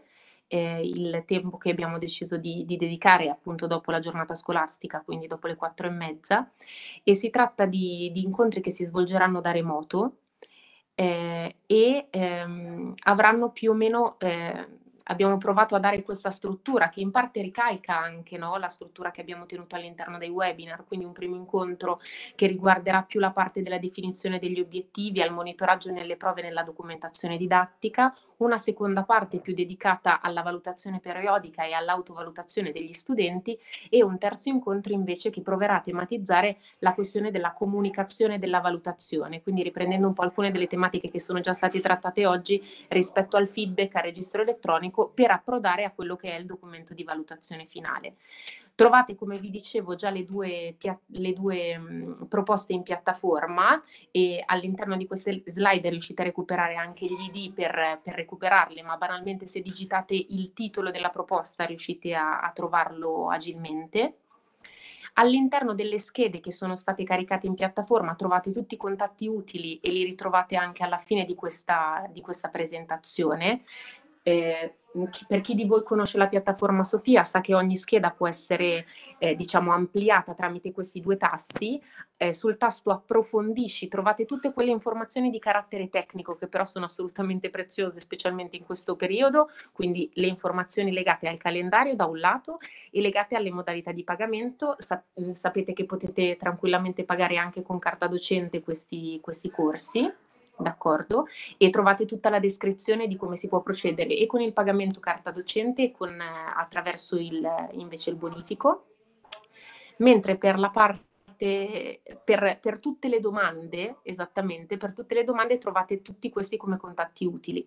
Quindi la mia mail, eh, quella di, di, Franco, ma anche di Cocca con le scuole e InfoSofia che è effettivamente il, la mail a cui poter, poter fare riferimento per, per, tutte delle questioni più relative al, al pagamento. Sì, aggiungerei Barbara, scusami, sì? no, il, il costo è di 40 euro. Sì il costo è di 40 euro e quello che si chiede all'interno di questo percorso, in realtà non, non l'abbiamo messo nella slide, ma effettivamente quando parliamo di formazione laboratoriale chiederemmo a chi si iscrive di, di, essere, diciamo, di, di, essere desideroso anche di mettersi in gioco, quindi magari di provare a, a sperimentare alcune delle, delle, suggestioni che verranno proposte all'interno degli incontri, perché effettivamente gli incontri successivi si moduleranno e verranno costruiti anche sulla base, sull'analisi di quelle che sono le sperimentazioni che si mettono, che si mettono in campo.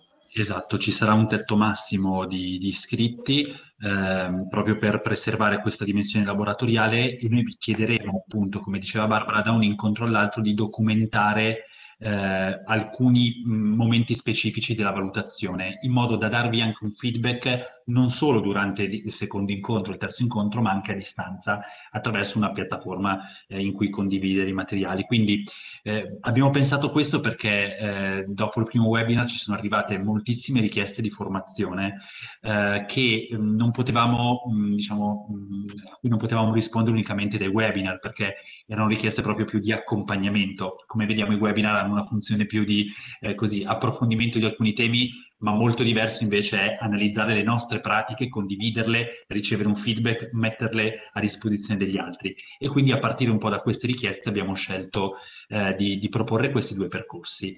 Um, in chiusura, dico Barbara, mh, rispetto ai prossimi appuntamenti, effettivamente avremo un webinar, come dicevamo prima, eh, sul documento finale eh, sulla comunicazione con le famiglie, nostro stesso incontro, ma anche eh, un webinar invece relativo eh, alla dimensione e all'impatto di carattere più psicologico eh, diciamo, di questo periodo di stravolgimento e adesso ancora di scuola a distanza, eh, organizzato assieme a psicologi e psicoterapeuti. Eh, vi arriverà una comunicazione via mail con la data e il link. Eh, questi webinar ovviamente sono gratuiti, fanno parte di questa proposta. Invece questa formazione ci siamo sentiti un po' eh, di, di, di progettarla per via delle tante richieste che ci sono arrivate e a cui volevamo così fornire un supporto.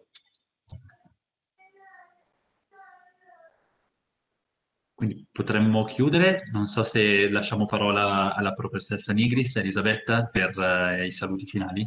No, io volevo solo salutare, non dico nient'altro perché ho ascoltato con molto, molto piacere, è stato interessante questo dialogo e quindi eh, buon lavoro a tutti, mandateci tutte le domande, vi chiederei per i dubbi di scrivere soprattutto a Bicocca con le scuole e, e anche per mandare domande, richieste, quella la mail, mandate tutto lì. Noi vi rispondiamo. Se posso aggiungere in chiusura un'ultimissima cosa, c'è qualcuno che sul Padlet ha detto forse in questo momento dovremmo scrivere anche noi rispetto a quello che ci avete detto, che cosa abbiamo imparato, come abbiamo imparato e su che cosa abbiamo fatto fatica. Se vi va di condividere queste riflessioni, effettivamente potete mandare una mail a Bicocca con le scuole anche dandoci un feedback su questo e eh, che sicuramente verrà letto e insomma valorizzato anche nei prossimi incontri. Questo è il più bel regalo che ci potevate fare. Bene, buona serata a tutti. Grazie.